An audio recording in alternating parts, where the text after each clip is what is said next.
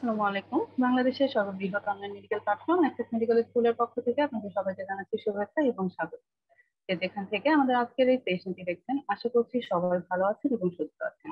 Access medical বর্তমানে শুধু একটি নামে নয়, এটি বাংলাদেশের মেডিকেল জগতের একটি হৃদস্পন্দন যেখানে প্রতিনিয়তই বাংলাদেশের বিভিন্ন প্রান্তের সব মেডিকেল স্টুডেন্ট এবং নবীন ডাক্তারদের জন্য আয়োজন করা হচ্ছে বিভিন্ন ক্যারিয়ার রিলেটেড এবং একাডেমিক সেশন অ্যাক্সিস মানে নতুন কিছু। তো সেরকম একটি নতুন সেশন নিয়ে আজ আমরা উপস্থিত হয়েছি আপনাদের সাথে আপনাদের সামনে। আমাদের আজকের সেশনের topic all about গাইনিয়ান obs examination in MS exam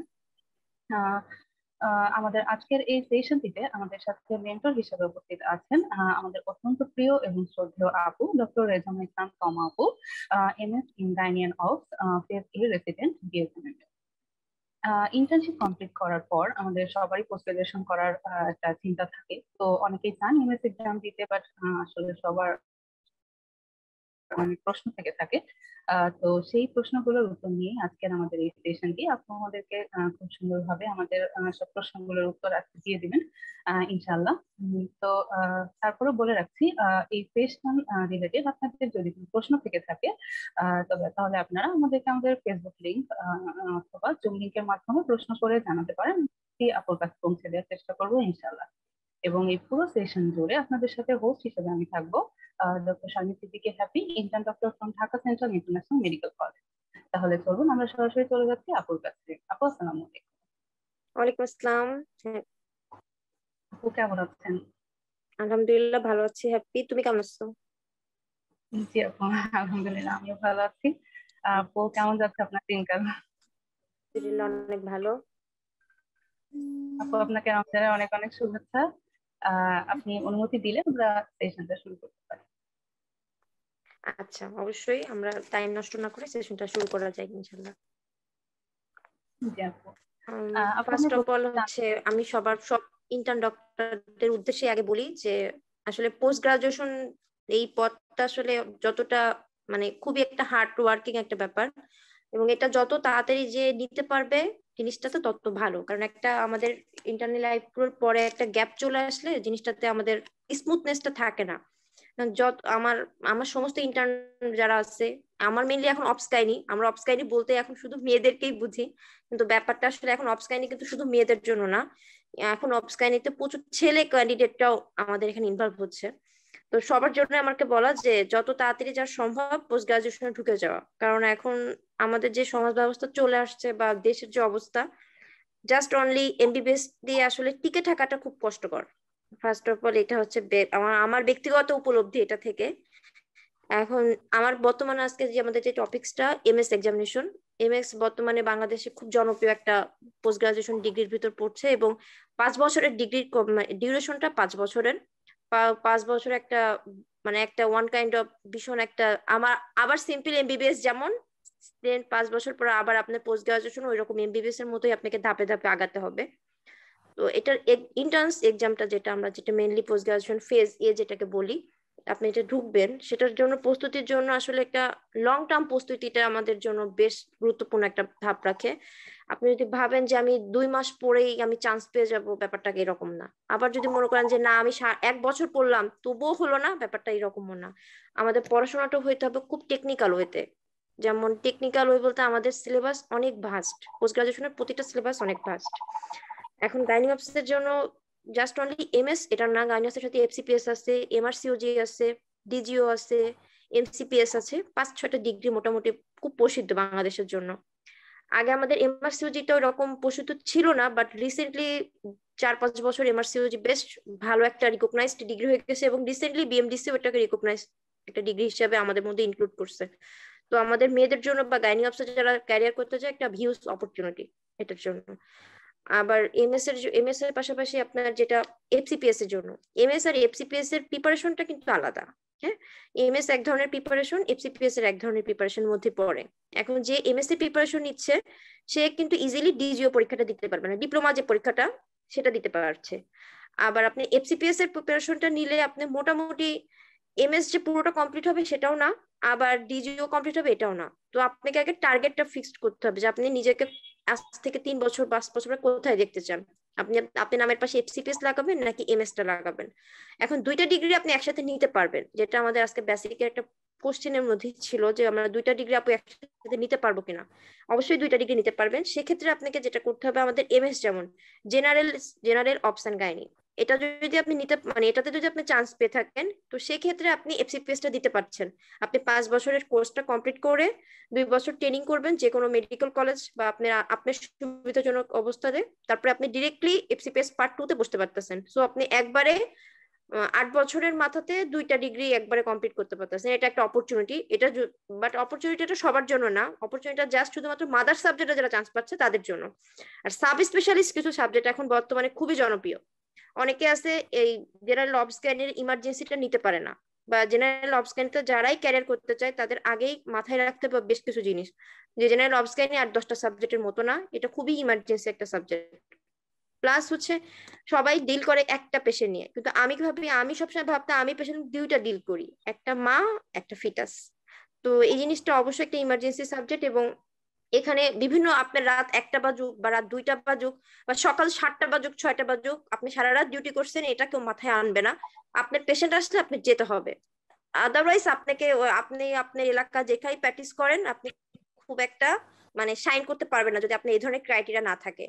দেন একটা যেটা হচ্ছে financial condition then family support এই তিনটা জিনিস যদি আপনার খুব ভালো থেকে থাকে দেন মোস্ট ওয়েলকাম এবং আপনার জন্য পোস্ট গ্রাজুয়েশনটাই আপনার জন্য মেন কথা।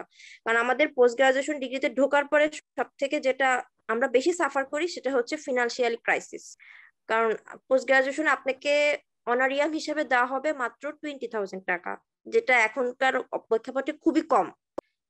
তো সেক্ষেত্রে আমরা যেটা বল মানে আমাদের জন্য যেটা সবাইকে বলি যে আপনারা আর্লি এজে যদি পোস্ট গ্রাজুয়েশনটা কমপ্লিট করে ফেলেন আলহামদুলিল্লাহ করে পাঁচ বছরের কোর্স পাঁচ বছরই কমপ্লিট করতে পারাটা খুবই টাফ সো মাচ টাফ যদি করে ফেলেন, আলহামদুলিল্লাহ খুবই ভালো। দেন সামনের পাঁচ বছর বলেন, দশ বছর বলেন, আপনার লাইফ মোটামুটি আপনি একটা বিশেষজ্ঞ ডাক্তার হিসেবে বেড়ে যাচ্ছেন। এইখানকার প্রিপারেশনটা কীরকম? বা প্রিপারেশনটা কত বছর নিব বা কীভাবে নিব? কোথা থেকে শুরু করব? এটা যদি বলা হয় একদম বেসিক থেকে যদি আমি শুরু করে যাই। এখন আমাদের, আমার মেডিকেল স্পেশালি একটা ব্যাপার ছিল বা একটা টার্ম সবসময় চালু ছিল যে আমি যেটা পরীক্ষায় না পারি সেটাই হচ্ছে বেসিক এবং তাতে আমার বেসিক ক্লিয়ার না। এরকম আমাদের একটা প্রচলিত ধারণা ছিল। তো পোস্ট গ্রাজুয়েশনের জন্য যেটা হচ্ছে বেসিক বলতে আসলে বেসিক সবারই থাকে। আমি মেডিকেল পাস করে আসছি, আমার বেসিক আছে বলে আমি পাস করছি না হলে আমি পাস করতাম না। এখন ইন্টার্ন ডক্টরদের জন্য আমার প্রিপারেশন যেটা এমএস পরীক্ষাটা আপনি কখন দিতে পারবেন? আপনার ইন্টার্নশিপ শেষ করার এক বছর পরে আপনি এমএসটা দিতে পারতেছেন। তার আগে আপনি দিতে পারবেন না। এফসিপিএস এর জন্য যেটা, সেটা আপনি ইন্টার্নশিপ শেষ করার পরবর্তীতে যে এফসিপিএসটা সেটা আপনি দিতে পারেন মানে অনেক গ্যাপের দরকার হয় না। এটা এমএস আর এফসিপিএস এর মধ্যে বেসিক একটা বেস্ট ডিফারেন্স যে আপনি এফসিপিএস টার্গেট করলে আপনি যখন তখনই দিতে পারছেন ইন্টার্নশিপ শেষ করলে বাট এমএসটা আপনাকে অবশ্যই এক বছরের একটা গ্যাপ থাকতে হবে। দুটা পরেই আপনি দেশের সর্বোচ্চ যে পর্যায়ে, অধ্যাপক হিসাবে নিজেকে প্রতিষ্ঠিত করতে পারবেন। আপনার আস্তে আস্তে ইনক্রিমেন্ট হবে এবং আপনি এভাবে অধ্যাপক যাবে কিন্তু যেটা ডিপ্লোমা যে পরীক্ষাটা আমাদের হয় ডিপ্লোমা পরীক্ষাতে একটাই খারাপ দিক বা ডিসমেরিট যেটা বলেন, সেটা হচ্ছে ওটা দুই বছরের কোর্স এবং আপনি সর্বোচ্চ সহযোগী অধ্যাপক হিসাবে আপনি লাস্ট পর্যন্ত যেতে পারবেন। বাট অধ্যাপক হিসাবে আপনি কোনো মেডিকেল কলেজ বলেন বা আদার্স কোথাও জয়েন করতে পারছেন না বাট আপনি বিশেষজ্ঞ, ডাক্তার হিসাবে নিজেকে দেখতে পারবেন। এখন ফার্স্ট অফ অল ইন্টার্ন ডক্টরদের জন্য আমি কখনোই বলি না যে আপনারা ফার্স্টেই টার্গেট রাখেন ডিজিওটা বিকজ বড় বড় দুইটা ডিগ্রি বাদ দিয়ে ডিজিওটা করলে পরবর্তীতে নিজেরকে একটু মানে মনে হয় কেন করলাম না? আমিও তো পারতাম, আমার এখন সুযোগ ছিল। তো ফার্স্ট টার্গেট আপনাদের সবারই হওয়া উচিত এফসিপিএস অথবা এমএস যে কোনো একটা অপশন গাইনিতে জেনারেল অপশন গাইনি এখন জেনারেল অপস গাইনি এমএস এর ক্ষেত্রে আমি যেহেতু আমার আজকে টার্গেট পিপল এমএস আমি এমএস এর কথা বলি। এমএস অপশন গাইনি টা সো মাচ টাফ কারণ এটা হাইলি হিউজ একটা কম্পিটিটিভ সাবজেক্ট এবং আমাদের যেটা হচ্ছে এমএস পরীক্ষা যেটা বললাম, যে ফার্স্ট অফ অল আপনাকে প্রিপারেশনের ব্যাপারে কোনটা খেয়াল রাখতে হবে? এমএস এর প্রিপারেশনটা হচ্ছে মেইনলি টোটাল ষাটটা সাবজেক্টের পরে প্রিপারেশনটা physiology anatomy biochemistry microbiology pharma then ওই পাশে একটা হচ্ছে মাইক্রোবায়োলজি ফার্মা আর একটা প্যাথো আর দেন ক্লিনিক্যাল ক্লিনিক্যাল সাবজেক্টটা আমার এমএস এর চান্স পাওয়ার ক্ষেত্রে সব থেকে ভাইটাল রোল প্লে করে। এবার যেহেতু আমাদের কারিকুলামে চেঞ্জ আসতেছে একটু চেঞ্জে বলতে আগে যেমন এমএস পরীক্ষাতে আমাদের টোয়েন্টি পার্সেন্ট আমরা প্রিভিয়াস কোশ্চেন থেকে মোটামুটি চান্স পেতো এরকম একটা ধারণা থাকতো যে প্রিভিয়াস কোশ্চেনটা সলভ করলে চান্সটা পেয়ে যাবেন। কিন্তু এখন আর বর্তমানে সেইটা নাই। লাস্ট দুই আড়াই বছর দুই তিন বছর থেকেই কোশ্চেনের প্যাটার্ন চেঞ্জ হচ্ছে। মানে স্যাররা কোশ্চেন আর আগেরটা রিপিট করছে না। বাট রিপিট করছে না মানে এই না যে আপনাকে একেবারে একদম আনকমন কোশ্চেন দিচ্ছে। আপনাকে কোশ্চেনের টপিকস ঠিক থাকে, কিন্তু স্ট্রিমগুলো সব আলাদা হয়ে যাচ্ছে। তো এর জন্য আপনাদের মানে আগের মতো গদভাদা প্রিভিয়াস কোশ্চেন সলভ করে গেছি আপু দশ বছরে। কিন্তু আমি হচ্ছে না আমার। এটা একটা ভুল ব্যাপার। কিন্তু প্রিভিয়াস কোশ্চেন সলভের ব্যাপারে আপনাকে যেটা সাহায্য করবে, আপনাকে একটা ধারণা দিবে যে আচ্ছা এখান থেকে কোশ্চেনটা পড়লে আমরা এখানে পেতে পারি আমি চান্স ব্যাপারটা। এটা হচ্ছে এক নম্বর কথা যে সাবজেক্ট আপু, কয়টা পড়তে হয়? সাবজেক্ট টোটাল ষাটটা পড়তে হবে আমাদের এরকম মাথায় রাখার জন্য। দেন কিছু কিছু সাবজেক্ট আছে যে হিউজ মানে না পড়ে গেলে সেখানে এমএস পরীক্ষা ঢুকতে উচিত না কারণ এর মধ্যে একটা ফিজিওলজিটা ফিজিওলজি থেকে হিউজ লেভেলের কোশ্চেন আসে। এবং ফিজিওলজির রিলেটেড কোশ্চেনই আপনার প্যাথ হতে যাবে। আবার আপনার ফার্মাতে অনেক সময় ফিজিওলজি একটা স্টেম চলে আসলো। আপনার জ্ঞান, আপনার এটাতে পড়া থাকল আপনার ওখানে তখন কাজে লাগবে। আবার মাইক্রোবায়োলজি যেটা মাইক্রোবায়োলজি যে ব্যাকটেরিয়া গুলা, সেগুলো তো আমাদের লাগবেই মাস্ট ব্যাকটেরিয়া বলেন ভাইরাস বলেন কমন কোশ্চেন একটা ফেট কোশ্চেন আসবেই ব্যাপারটা। এখন মাইক্রোবায়োলজি থেকে এমন একটা ব্যাপার মাইক্রো যেমন সহজ সাবজেক্ট তেমন আবার কঠিন সাবজেক্ট পড়াটা অনেক ভাস্ট মাইক্রোবায়োলজি এত পড়ে আসলে মাথায় কখনো কেউ রাখতে পারে না। আমাদের মাথা কারোর তো কম্পিউটার না, স্বাভাবিক। যে আপু, আপনি কত নাম্বার আমাকে ফার্স্ট যেমন আমি যখন চান্স পাইছি, আমাকে ফার্স্ট সবারই কোশ্চেন আপু, আপনি কত নাম্বার পাইছিলেন? মানে আমাদের পরীক্ষা ছিল একশোতে। এখন ন্যাচারালি এম এস পরীক্ষাটা হয় দুশোতে, কিন্তু কোভিড এর পর থেকেই সবার একশো মার্কের করে পরীক্ষাটা হচ্ছে। একশো মার্কের পরীক্ষা দেড় ঘণ্টা টাইম তার মানে আপনি যে চিন্তা ভাবনা করে পরীক্ষা দিবেন, এর সুযোগ আপনার নাই। মানে আপনি যতটুক টাইম যত তাড়াতাড়ি ইউটিলাইজ করতে পারবেন, তত ভালো। নেগেটিভ মার্কিং এর কথা বললে নেগেটিভ মার্কিং খুবই কম। এজন্য বলা হয় যে একশো মার্কের প্রতিটা কোশ্চেন আপনার অ্যান্সার দিয়ে আসবেন। নেগেটিভ মার্কিং যেটা একেবারে নগণ্য নেগেটিভ মার্কিং সো এটা নিয়ে টেনশনের দরকার হয় না। নেগেটিভ মার্কিং বলতে পঁচিশ, বিশটা স্টেম বা বাইশটা স্টেম ভুল গেলে এক নাম্বার কাটা যায়। তো সেক্ষেত্রে খুবই পুয়ার একটা নেগেটিভ মার্কিং বাট আমরা এবার ধারণা করতেছি যে মার্চ চব্বিশে যে এমএস পরীক্ষাটা হবে সেই পরীক্ষাতে এসবিএ কোশ্চেনটা থাকবে। কারণ ডিপ্লোমাতে যেহেতু এসবিএসটা ছিল, তো মার্চেও আশা করা যায় চব্বিশে মানে ডিপ্লোমা মানে ইয়ে থাকবে এসবিএ কোশ্চেনের প্যাটার্ন থাকবে। এখন এসবি এর জন্য যেটা মেন কথা সেটা আমরা পরে আসি। আগে আমরা অ্যাজবোজা পঁচাত্তর মার্কের যেটা সেটাতে আসি। আমি ধরে নিলাম এবারে একশো মার্কেরই পরীক্ষাটা হচ্ছে। যদি ধরে নিই আমরা যে আপু একশো মার্ক না দুইশো মার্ক ধরেন একশো মার্কেরই পরীক্ষাটা হচ্ছে, সেক্ষেত্রে আপনার পঁচাত্তর থাকতেছে normal question multiple answer question then পঁচিশ থাকবে সিঙ্গেল বেস কোশ্চেন এখন মাল্টিপল অ্যান্সার কোশ্চেনের মধ্যে পড়া তো অনেক বেশি। এখন পড়া থেকে শুরু করব? আবার কোথায় যে শেষ করব? এরকম যদি বলি, একদম যারা নিউ নিউ কামার বা ফ্রেশার যারা, তাদের জন্য ব্যাপারটা হচ্ছে যে, যদি ফিজিওলজিটা টার্গেট রাখি যাব আমি ফিজিওলজি থেকে আগে পড়তে চাচ্ছি, বা কি পড়ব? ফিজিওলজির কোন অধ্যায় পড়ব?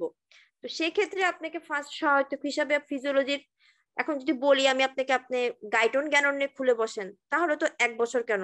দশ বছরের পরীক্ষা দিয়ে সম্ভব না, পাশ করাও সম্ভব না। কারণ গাইডন জ্ঞান যে পড়তে যাবে, সে তো পোস্ট গ্রাজুয়েশন বাবা তার হবে না। গাইডন জ্ঞান পড়ার আলাদা সময় আছে। আপনি ফিজিওলজিতে পোস্ট গ্রাজুয়েশন করতেছেন দেন আপনি গাইডন জ্ঞান পড়েন, কোনো সমস্যা নেই। বা আমি যদি বলি যে ডেভিডসনটা পুরো মুখস্থ করতে হবে, এটাও একটা মানে লেম হয়ে গেল যে আপু, ডেভিডসন পড়ে আপনি মুখস্থ করে চান্স পাইছেন। এখন চান্স পাওয়ার পরে আমি অনেক কিছুই বলতে পারি। তখন সবকিছুই ফেট মানে হ্যাঁ আপুই তাহলে ঠিক আছে, কিন্তু ব্যাপারটা আসলে ওই রকম না। পড়াশোনাটা হচ্ছে টেকনিক্যাল ওয়েতে যেতে হবে। আপনি কতটুকু পড়তেছেন? আমি দশ ঘণ্টা পড়ছি, আপনি সেটা পাঁচ ঘন্টাও পড়তে পারেন। এটা আপনার ব্যাপার আপনি কীভাবে টাইমটা ইউটিলাইজ করতেছেন?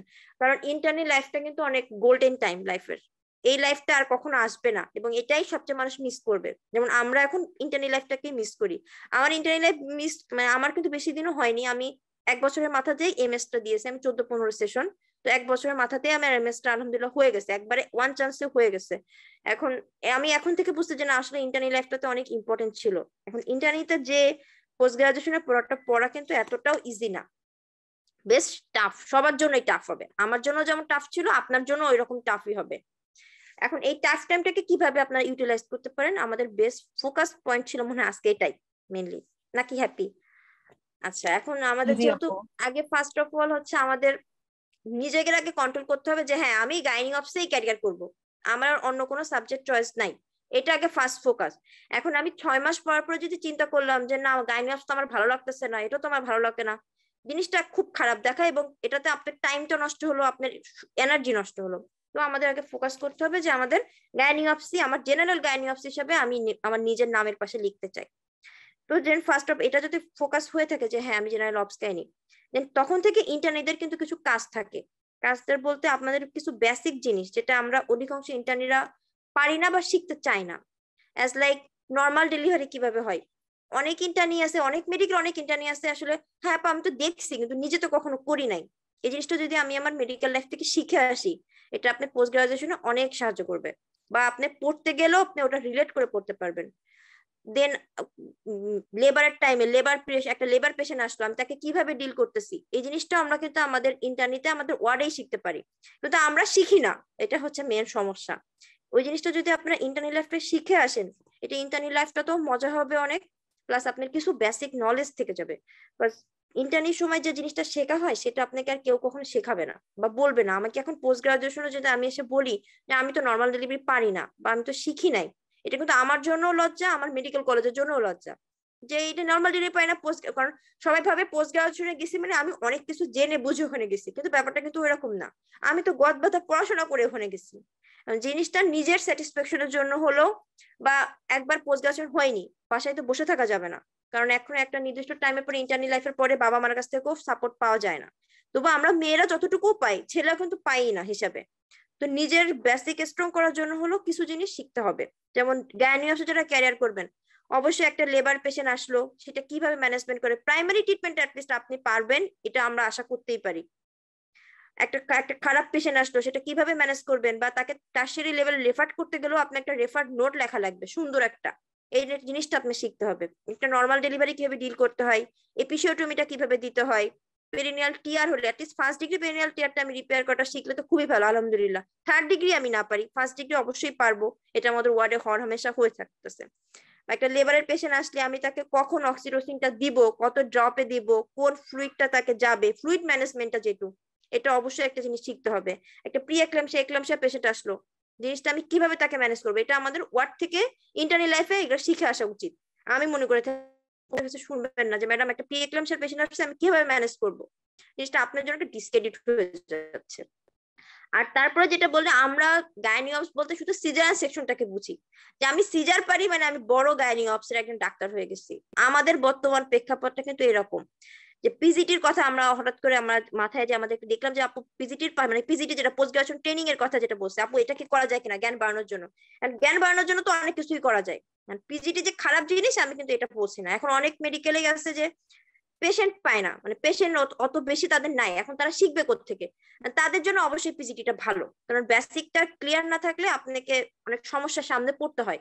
তো সেক্ষেত্রে পিজিটিটা মোস্ট ভালো। কিন্তু ওই পিজিটি ডিগ্রি দিয়ে যদি আপনি ভাবলেন যে আমি সারা জীবন এভাবে এটার পরে চলে যাব, এটা ভুল ধারণা। কারণ পরিবেশ চেঞ্জ হচ্ছে। আপনার পেশেন্টরা অনেক শিক্ষিত। আপনার কাছে আগে তারা দশ বার গুগল করে আসে যে আপনি কোন ওষুধ তাকে দিতে পারেন আর কোন ওষুধ দিতে পারেন না। তো আপনি যদি ভাবেন যে পিজিটি করে আমি শিখে যাব, এটা ভুল ধারণা। এক সময় এক সময় হয়তো আপনি ডিটোরেট করবেনই। তখন ডিটোরেট করবেন তখন আর সময় থাকবে না। কারণ পোস্ট গ্রাজুয়েশনের জন্য নির্দিষ্ট টাইম হচ্ছে পঁয়তাল্লিশ বছর। পঁয়তাল্লিশ বছরের পরে আর কেউ পোস্ট গ্রাজুয়েশন পরীক্ষা দিতে পারে না। আর পঁয়তাল্লিশ বছর অনেক বেশি টাইম মেন কথা আমাদের মেয়েদের কথা যদি বলি, একটা মেয়ের ফ্যামিলিতে দুইটা বাচ্চা চলে আসলে বা একটা বাচ্চা চলে আসলেই কিন্তু সে আর পারে না। বা আমার তার ফ্যামিলি সাপোর্ট নাই, তার হাজবেন্ড অন্য জায়গা থাকে। ফ্যামিলি ফিনান্সিয়াল কন্ডিশন ভালো না। সেক্ষেত্রেও পোস্ট গ্রাজুয়েশনটা সে স্মুথলি করতে পারে না। তো জিনিসটা সবকিছু মেনটেন করে এই জিনিসটা আপনার আগে সিদ্ধান্ত নিতে হবে যে আমি পাঁচ বছর পরে নিজেকে কোথায় দেখতে চাই? আমার নামের পরে কি কি ডিগ্রি যোগ হবে? এটা হচ্ছে আমাদের ফোকাস সব সব ডাক্তারদেরই থাকা উচিত। দেন সেক্ষেত্রে আপনার পথটা অনেক স্মুথ হয়ে যাবে। অ্যাজ যেটা বললাম ক্যানোলা করাটা, আমরা এটা অনেকেই পারি না। ক্যাথেটার করাটা এনজি টিউব করাটা, এটা আমাদের বেসিক একটা নলেজ এটা সবারই পারা উচিত এবং আমি মনে করি, আপনাকে যে এসআইটি ফ্লুইড অ্যাসপিরেশন না পারলে আপনাকে খুব একটা বকা কেউ দিবে না। কিন্তু এই জিনিসগুলো একটা ক্যানুলা করতে পারছেন না, একটা ক্যাথেটার করতে পারছেন না, এনজি সাকশন দিতে পারছেন না, এটা একটা ডিসক্রেডিট আমি পার্সোনালি মনে করে থাকি তো এটা আমার সব আপুদের জন্য উদ্দেশ্য বা যে ভাইয়াও যদি থেকে থেকে কোনো, তাকেও বলা যে এই জিনিসগুলো আপনারা দয়া করে একটু শিখে তারপরে অবশ্যই ইন্টারনেট লাইফটা শেষ করবেন। ইন্টারনেট লাইফ অনেক মজার লাইফ অবশ্যই মজা করবেন, সবকিছু করবেন, কিন্তু এই জিনিসগুলো বেসিক শিখে যেতে হবে। আর গাইনি অফিসে যে ক্যারিয়ার করবে স্পেশালি যে আপুরা বা ভাইয়ারা তাদের জন্য প্র্যাকটিক্যালি কথা হচ্ছে আপনারা বেশি বেশি করে পেশেন্টের ইন্টারাকশনে যাবেন। যাতে আপনার ভালোবাসাটা গানি আপসের পরে আরও বাড়বে। যেমন আমি ফার্স্টে যখন ফিফথ ইয়ারে পড়তাম, আমার তখন পর্যন্ত সিদ্ধান্ত ছিল না যে আমি গাইনি অফসে ক্যারিয়ার করব কিনা। হঠাৎ করে আমার কোথেকে কীভাবে আসলো গাইনি অফসের ক্যারিয়ার আমি ইন্টারনাল লাইফে যে সবাই তিন মাস তিন মাস করে বিভিন্ন রকম সাবজেক্ট ব্লক করে, আমি ইন্টারনি করছি গাইনি অফসে ছয় মাস। কারণ আমার সময় ডিউস লেভেলে কোভিড ছিল। তো কোভিড এর সময় আমাকে ইন্টারনেটে একটু টাইম মানে শর্ট ছিল আমার ইসে। তো আমাকে গাইনিং অফসে ছয় মাস করতে হয়েছিল এবং ওই টাইমটা আমার মানে বেস্ট টাইম ছিল। মানে আমি খুবই এনজয় করছি এবং আমি যতটুকু পারছি নিজেকে ওই সময় মোটামুটি যা বোঝার বা যা করার, যতটুকু করার আমি সতটুকু করে আসছি। তো আমার বেসিক জ্ঞানটা ওখান থেকেই মেনলি আসছে যে গাইনি অপসে কি কি করা যেতে পারে বা না করা যেতে পারে। তো ওখান থেকে আমার মোটামুটি টার্গেট ছিল যে আমি কোনটা পরীক্ষা দিব। দেন আমার পরীক্ষার ব্যাপারে যেটা আসতো, আপনাদের এখন অনেক রকম সুযোগ সুবিধা আছে ইউটিউব বলেন, এ বলেন, কিন্তু আমি সময়, আমি হয়তো বা পিছনে ছিলাম বা কিছু, আমি কিন্তু অত কিছু বুঝে শুনে বা কিছু করব বা কি করব না করব এত কিছু বুঝে করি নাই। তো আমি ফার্স্টে বললাম যে আমি এফসি পেজটা দিব না। আমার টার্গেট এফসি পেজ ছিল না। আমার টার্গেট ছিল এমএসসি যে আমি এক বছর পরে এমএসসি পরীক্ষাটা দিব। এখন এমএসসি এর জন্য পড়াটা কীভাবে শুরু করতে যাই এখন কোচিং সেন্টারে ভর্তি হতে গেলে ওখানে মিনিমাম আঠারো হাজার থেকে বিশ হাজার টাকা সব কোচিং সেন্টারে আপনাকে নিবে।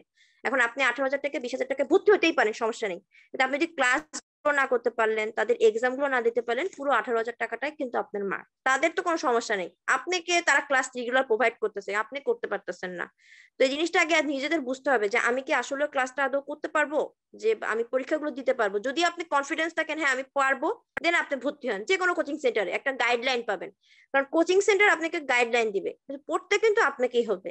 আপনি যখন এমবিবিএস পাস করে আসছেন, কোনো টিউটার ছাড়া, কোনো কোচিং সেন্টার ছাড়া, তাহলে আপনি পোস্ট গ্রাজুয়েশনও পাস করে আসতে পারবেন।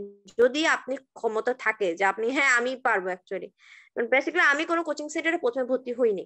কারণ আমি জানতাম যে আমি আসলে কোচিংটার সাথে তাল মেলায় চলতে পারব না। আমার ওই রকম ইন্টারনি করে বা এত টাইট শিডিউল আমি আসলে পারব না। তো আমি এই জন্য ভর্তি ফার্স্ট হাফ হইনি মেন কথা। আমি, আমার পরীক্ষা ছিল নভেম্বরে মেনলি নভেম্বরেই সবসময় পরীক্ষাটা হয়।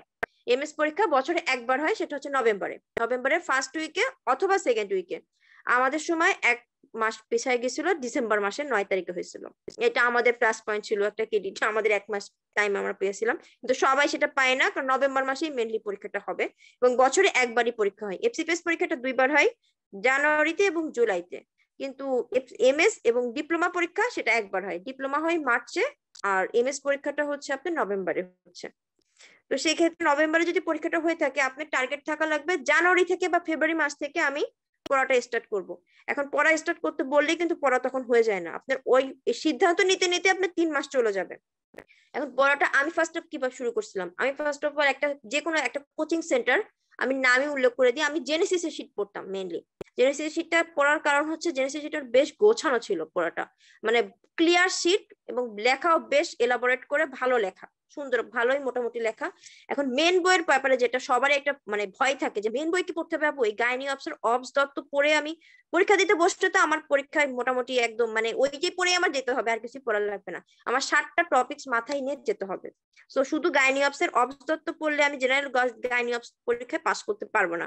কারণ আমার এটা মেনলি হচ্ছে এমএস পরীক্ষা মানে masters in surgery in obs and gynae main কথা হচ্ছে এটাই। এখন সার্জারির সমস্ত রিলেটেড আমার সবকিছু সাবজেক্ট নিতে হবে। ক্লিনিক্যাল সাবজেক্টগুলোর কথা আমি বলতেছি মেনলি ক্লিনিক্যালের মধ্যে আমার জেনারেল সার্জারি আছে orthopaedics anaesthesia eye ENT obs gynae এই সাতটা টপিকস কভার করে দেন আমার যেতে হবে। এখন এই সাতটা টপিকস কভার করতে গেলে তো সাত বছরও শেষ হবে না হিসাবে। এত পড়া আমাদের মেডিকেল লাইফে আর বেসিক সাবজেক্টগুলো এই ছয়টা বাদই দিলাম। ওই ছয়টা মনে করে আমি বাদ রেখে ক্লিনিক্যালের কথা বললাম। কারণ এখনকার মানে ক্লিনিক্যালের কোশ্চেনগুলো চেঞ্জ আসতেছে। আগে জাস্ট এক লাইনে কোশ্চেন যেত যে এটা ড্রাগের এটা সমস্যা, এটা এখন একটা সিনারিও বেস কোশ্চেন দিয়ে দেয়। এখন সিনারিও বেস কোশ্চেনের অ্যান্সার করাটা কিন্তু বেশ কঠিন, কারণ ধরতে তো হবে ব্যাপারটা যে কোন সিনারিও থেকে কোশ্চেনটা চাচ্ছে। আবার আপনি আমি পড়ে গেলাম, সবকিছু আমি পড়ছি আপু তবু আমি কেন পারছি না? ব্যাপারটা হচ্ছে কেন পারছেন না? কারণ আপনি টেকনিক্যাল ওয়েতে পড়তেছেন না। আর আপনার পড়া এত বেশি, আপনি কোথা থেকে কোনটা শেষ করে যাচ্ছেন আপনি নিজেও বুঝতে পারতেছেন না। আর আমাদের আরেকটা বিষয় সমস্যা হচ্ছে আমরা মানে সেলফ রানার না। আমরা শুধু চেষ্টা করি যে কে আমাকে একটু পড়াই দিবে, কোন কোচিং সেটা আচ্ছা ওই অমুক দিন ওই ক্লাসটা তাহলে ওই ক্লাসটা দিন আমি ওইটা পড়ব। আমি যে নিজের থেকে একটু আগায় রাখব বা নিজে থেকে একটু দেখি কি ব্যাপারটা, এটা আমরা পড়ি না। বেসিক্যালি আমি আসলে ওই রকম কোচিং এর সাথে তাল মেলায় পড়তে পারতাম না বলে আমি কোচিং এ ভর্তি হইনি। বাট আপনি যদি কনফিডেন্স থাকেন যে আপনি পারবেন, আপনি অবশ্যই কোচিং এ ভর্তি হন। কোচিং যে খারাপ জিনিস, আমি এটা কখনোই বলতেছি না। ওটা একটা রিদম থাকে। পড়াশোনাতে একটা রিদম বেশ কাজ করে। তো দেন আমি জেনেছি যে শীট নিয়ে আমি নিজের থেকেই পড়া শুরু করছিলাম। এখন পড়াটা কীভাবে শুরু করব? আমি তো বুঝতেছিলাম না ফার্স্টে এতগুলো শীট বত্রিশটা শীট জেনেসিসে বত্রিশটা শীট ছিল আমার সময়। আমি কীভাবে শুরু করব? আমি এটাই মানে মাথায় কাজ করতেছে না। দেন আমি ভাবলাম যে প্রিভিয়াস সালের কোশ্চেনগুলো কি আসতেছে একটু দেখি। প্রিভিয়াস সালের কোশ্চেন যখন পড়া শুরু করলাম, তখন একটা সিস্টেম পাবেন আপনি। যে আপনি আজ লাইক আমি রেসপিরেটরি সিস্টেমের কথা যদি বলি ফিজিওলজি রেসপিরেটরি সিস্টেম দিয়ে তো শুরু হয় মেনলি আমাদের সিস্টেমিক ফিজিওলজি রেসপিরেটরি সিস্টেম এবং রেসপিরেটরি সিস্টেম দিয়ে একটা কোশ্চেন থাকেই। মেন কথা আমি যে দেখলাম, দশ বারো বছরের কোশ্চেন উল্টায় পাল্টায়, যে একটা কোশ্চেন তো অবশ্যই থাকতেছে। এখন রেসপিরেটরি সিস্টেম কি সব পড়ব? রেসপিরেটরি সব পড়তে গেলেও তো তো ওই যে তিন তিন চার পাঁচ দিন চলে যাবে, তাও মনে থাকবে না। চার পাঁচ দিন পর আমাকে কেউ ধরলে আমি কিছুই বলতে পারব না। এখন সেক্ষেত্রে আপনাকে এমএস যারা প্রস্তুতি নিচ্ছেন, তাদের জন্য প্রিপারেশনের জন্য একমাত্র বেসিক মানে মেন যেটা কারণ, আপনি প্রিভিয়াস কোশ্চেনটা আগে দেখবেন। আপনার কোথা থেকে কোশ্চেন আসতেছে, কীভাবে কোশ্চেনগুলো আসতেছে। দেন ওই টপিক্সটা নিয়ে যেটা আসে সেটা পুরোটা পড়তে হবে। এখন আপনি যে ভাবলেন আচ্ছা আপু, প্রশ্ন তো পাঁচটা স্টেম আছে, তাহলে পাঁচটা স্টেম আমি পড়ে গেলাম। ব্যাপারটা কিন্তু ওইরকম না। আপনি যেটা যেমন as like oxyhemoglobin dissociation curve যদি বলি, খুব ইম্পর্টেন্ট একটা কোশ্চেন রেসপিরেটরি সিস্টেমের জন্য। এটা অক্সিমেট্রি কাজ নিয়ে ওরা পাঁচটা স্টেম দিচ্ছে কিন্তু আপনার পাঁচটা স্টেম পড়লে হবে না। ওখানে যে বাকি পনেরোটা পয়েন্ট আছে বা এর আশেপাশে যেটা আছে right side left side oxygen dissociation curve এগুলো পুরোটা আপনার পরে দেন কভার আপ করতে হবে। দেন আপনারা যদি এভাবে কভার আপ করতে পারেন দেন প্রস্তুতিটা একটা আপ টু লেভেলে হবে। প্রস্তুতি যদি আপ টু লেভেলে হয়ে যায়, কারোর প্রস্তুতি, প্রথম বছর আল্লাহ না করুক, কারণ কপালও তো থাকা লাগবে ব্যাপারটা। হলো না, কিন্তু নেক্সট টাইম কিন্তু তার হয়েই যায়। মানে কেউ যার প্রস্তুতিটা ভালো থাকে, সে কখনো আটকায় না, তার হয়ে যায়। যে কোনো না যে কোনো পরীক্ষাতে তার হয়ে যাবে, কারণ ওই প্রস্তুতিটা ক্লিয়ার আছে।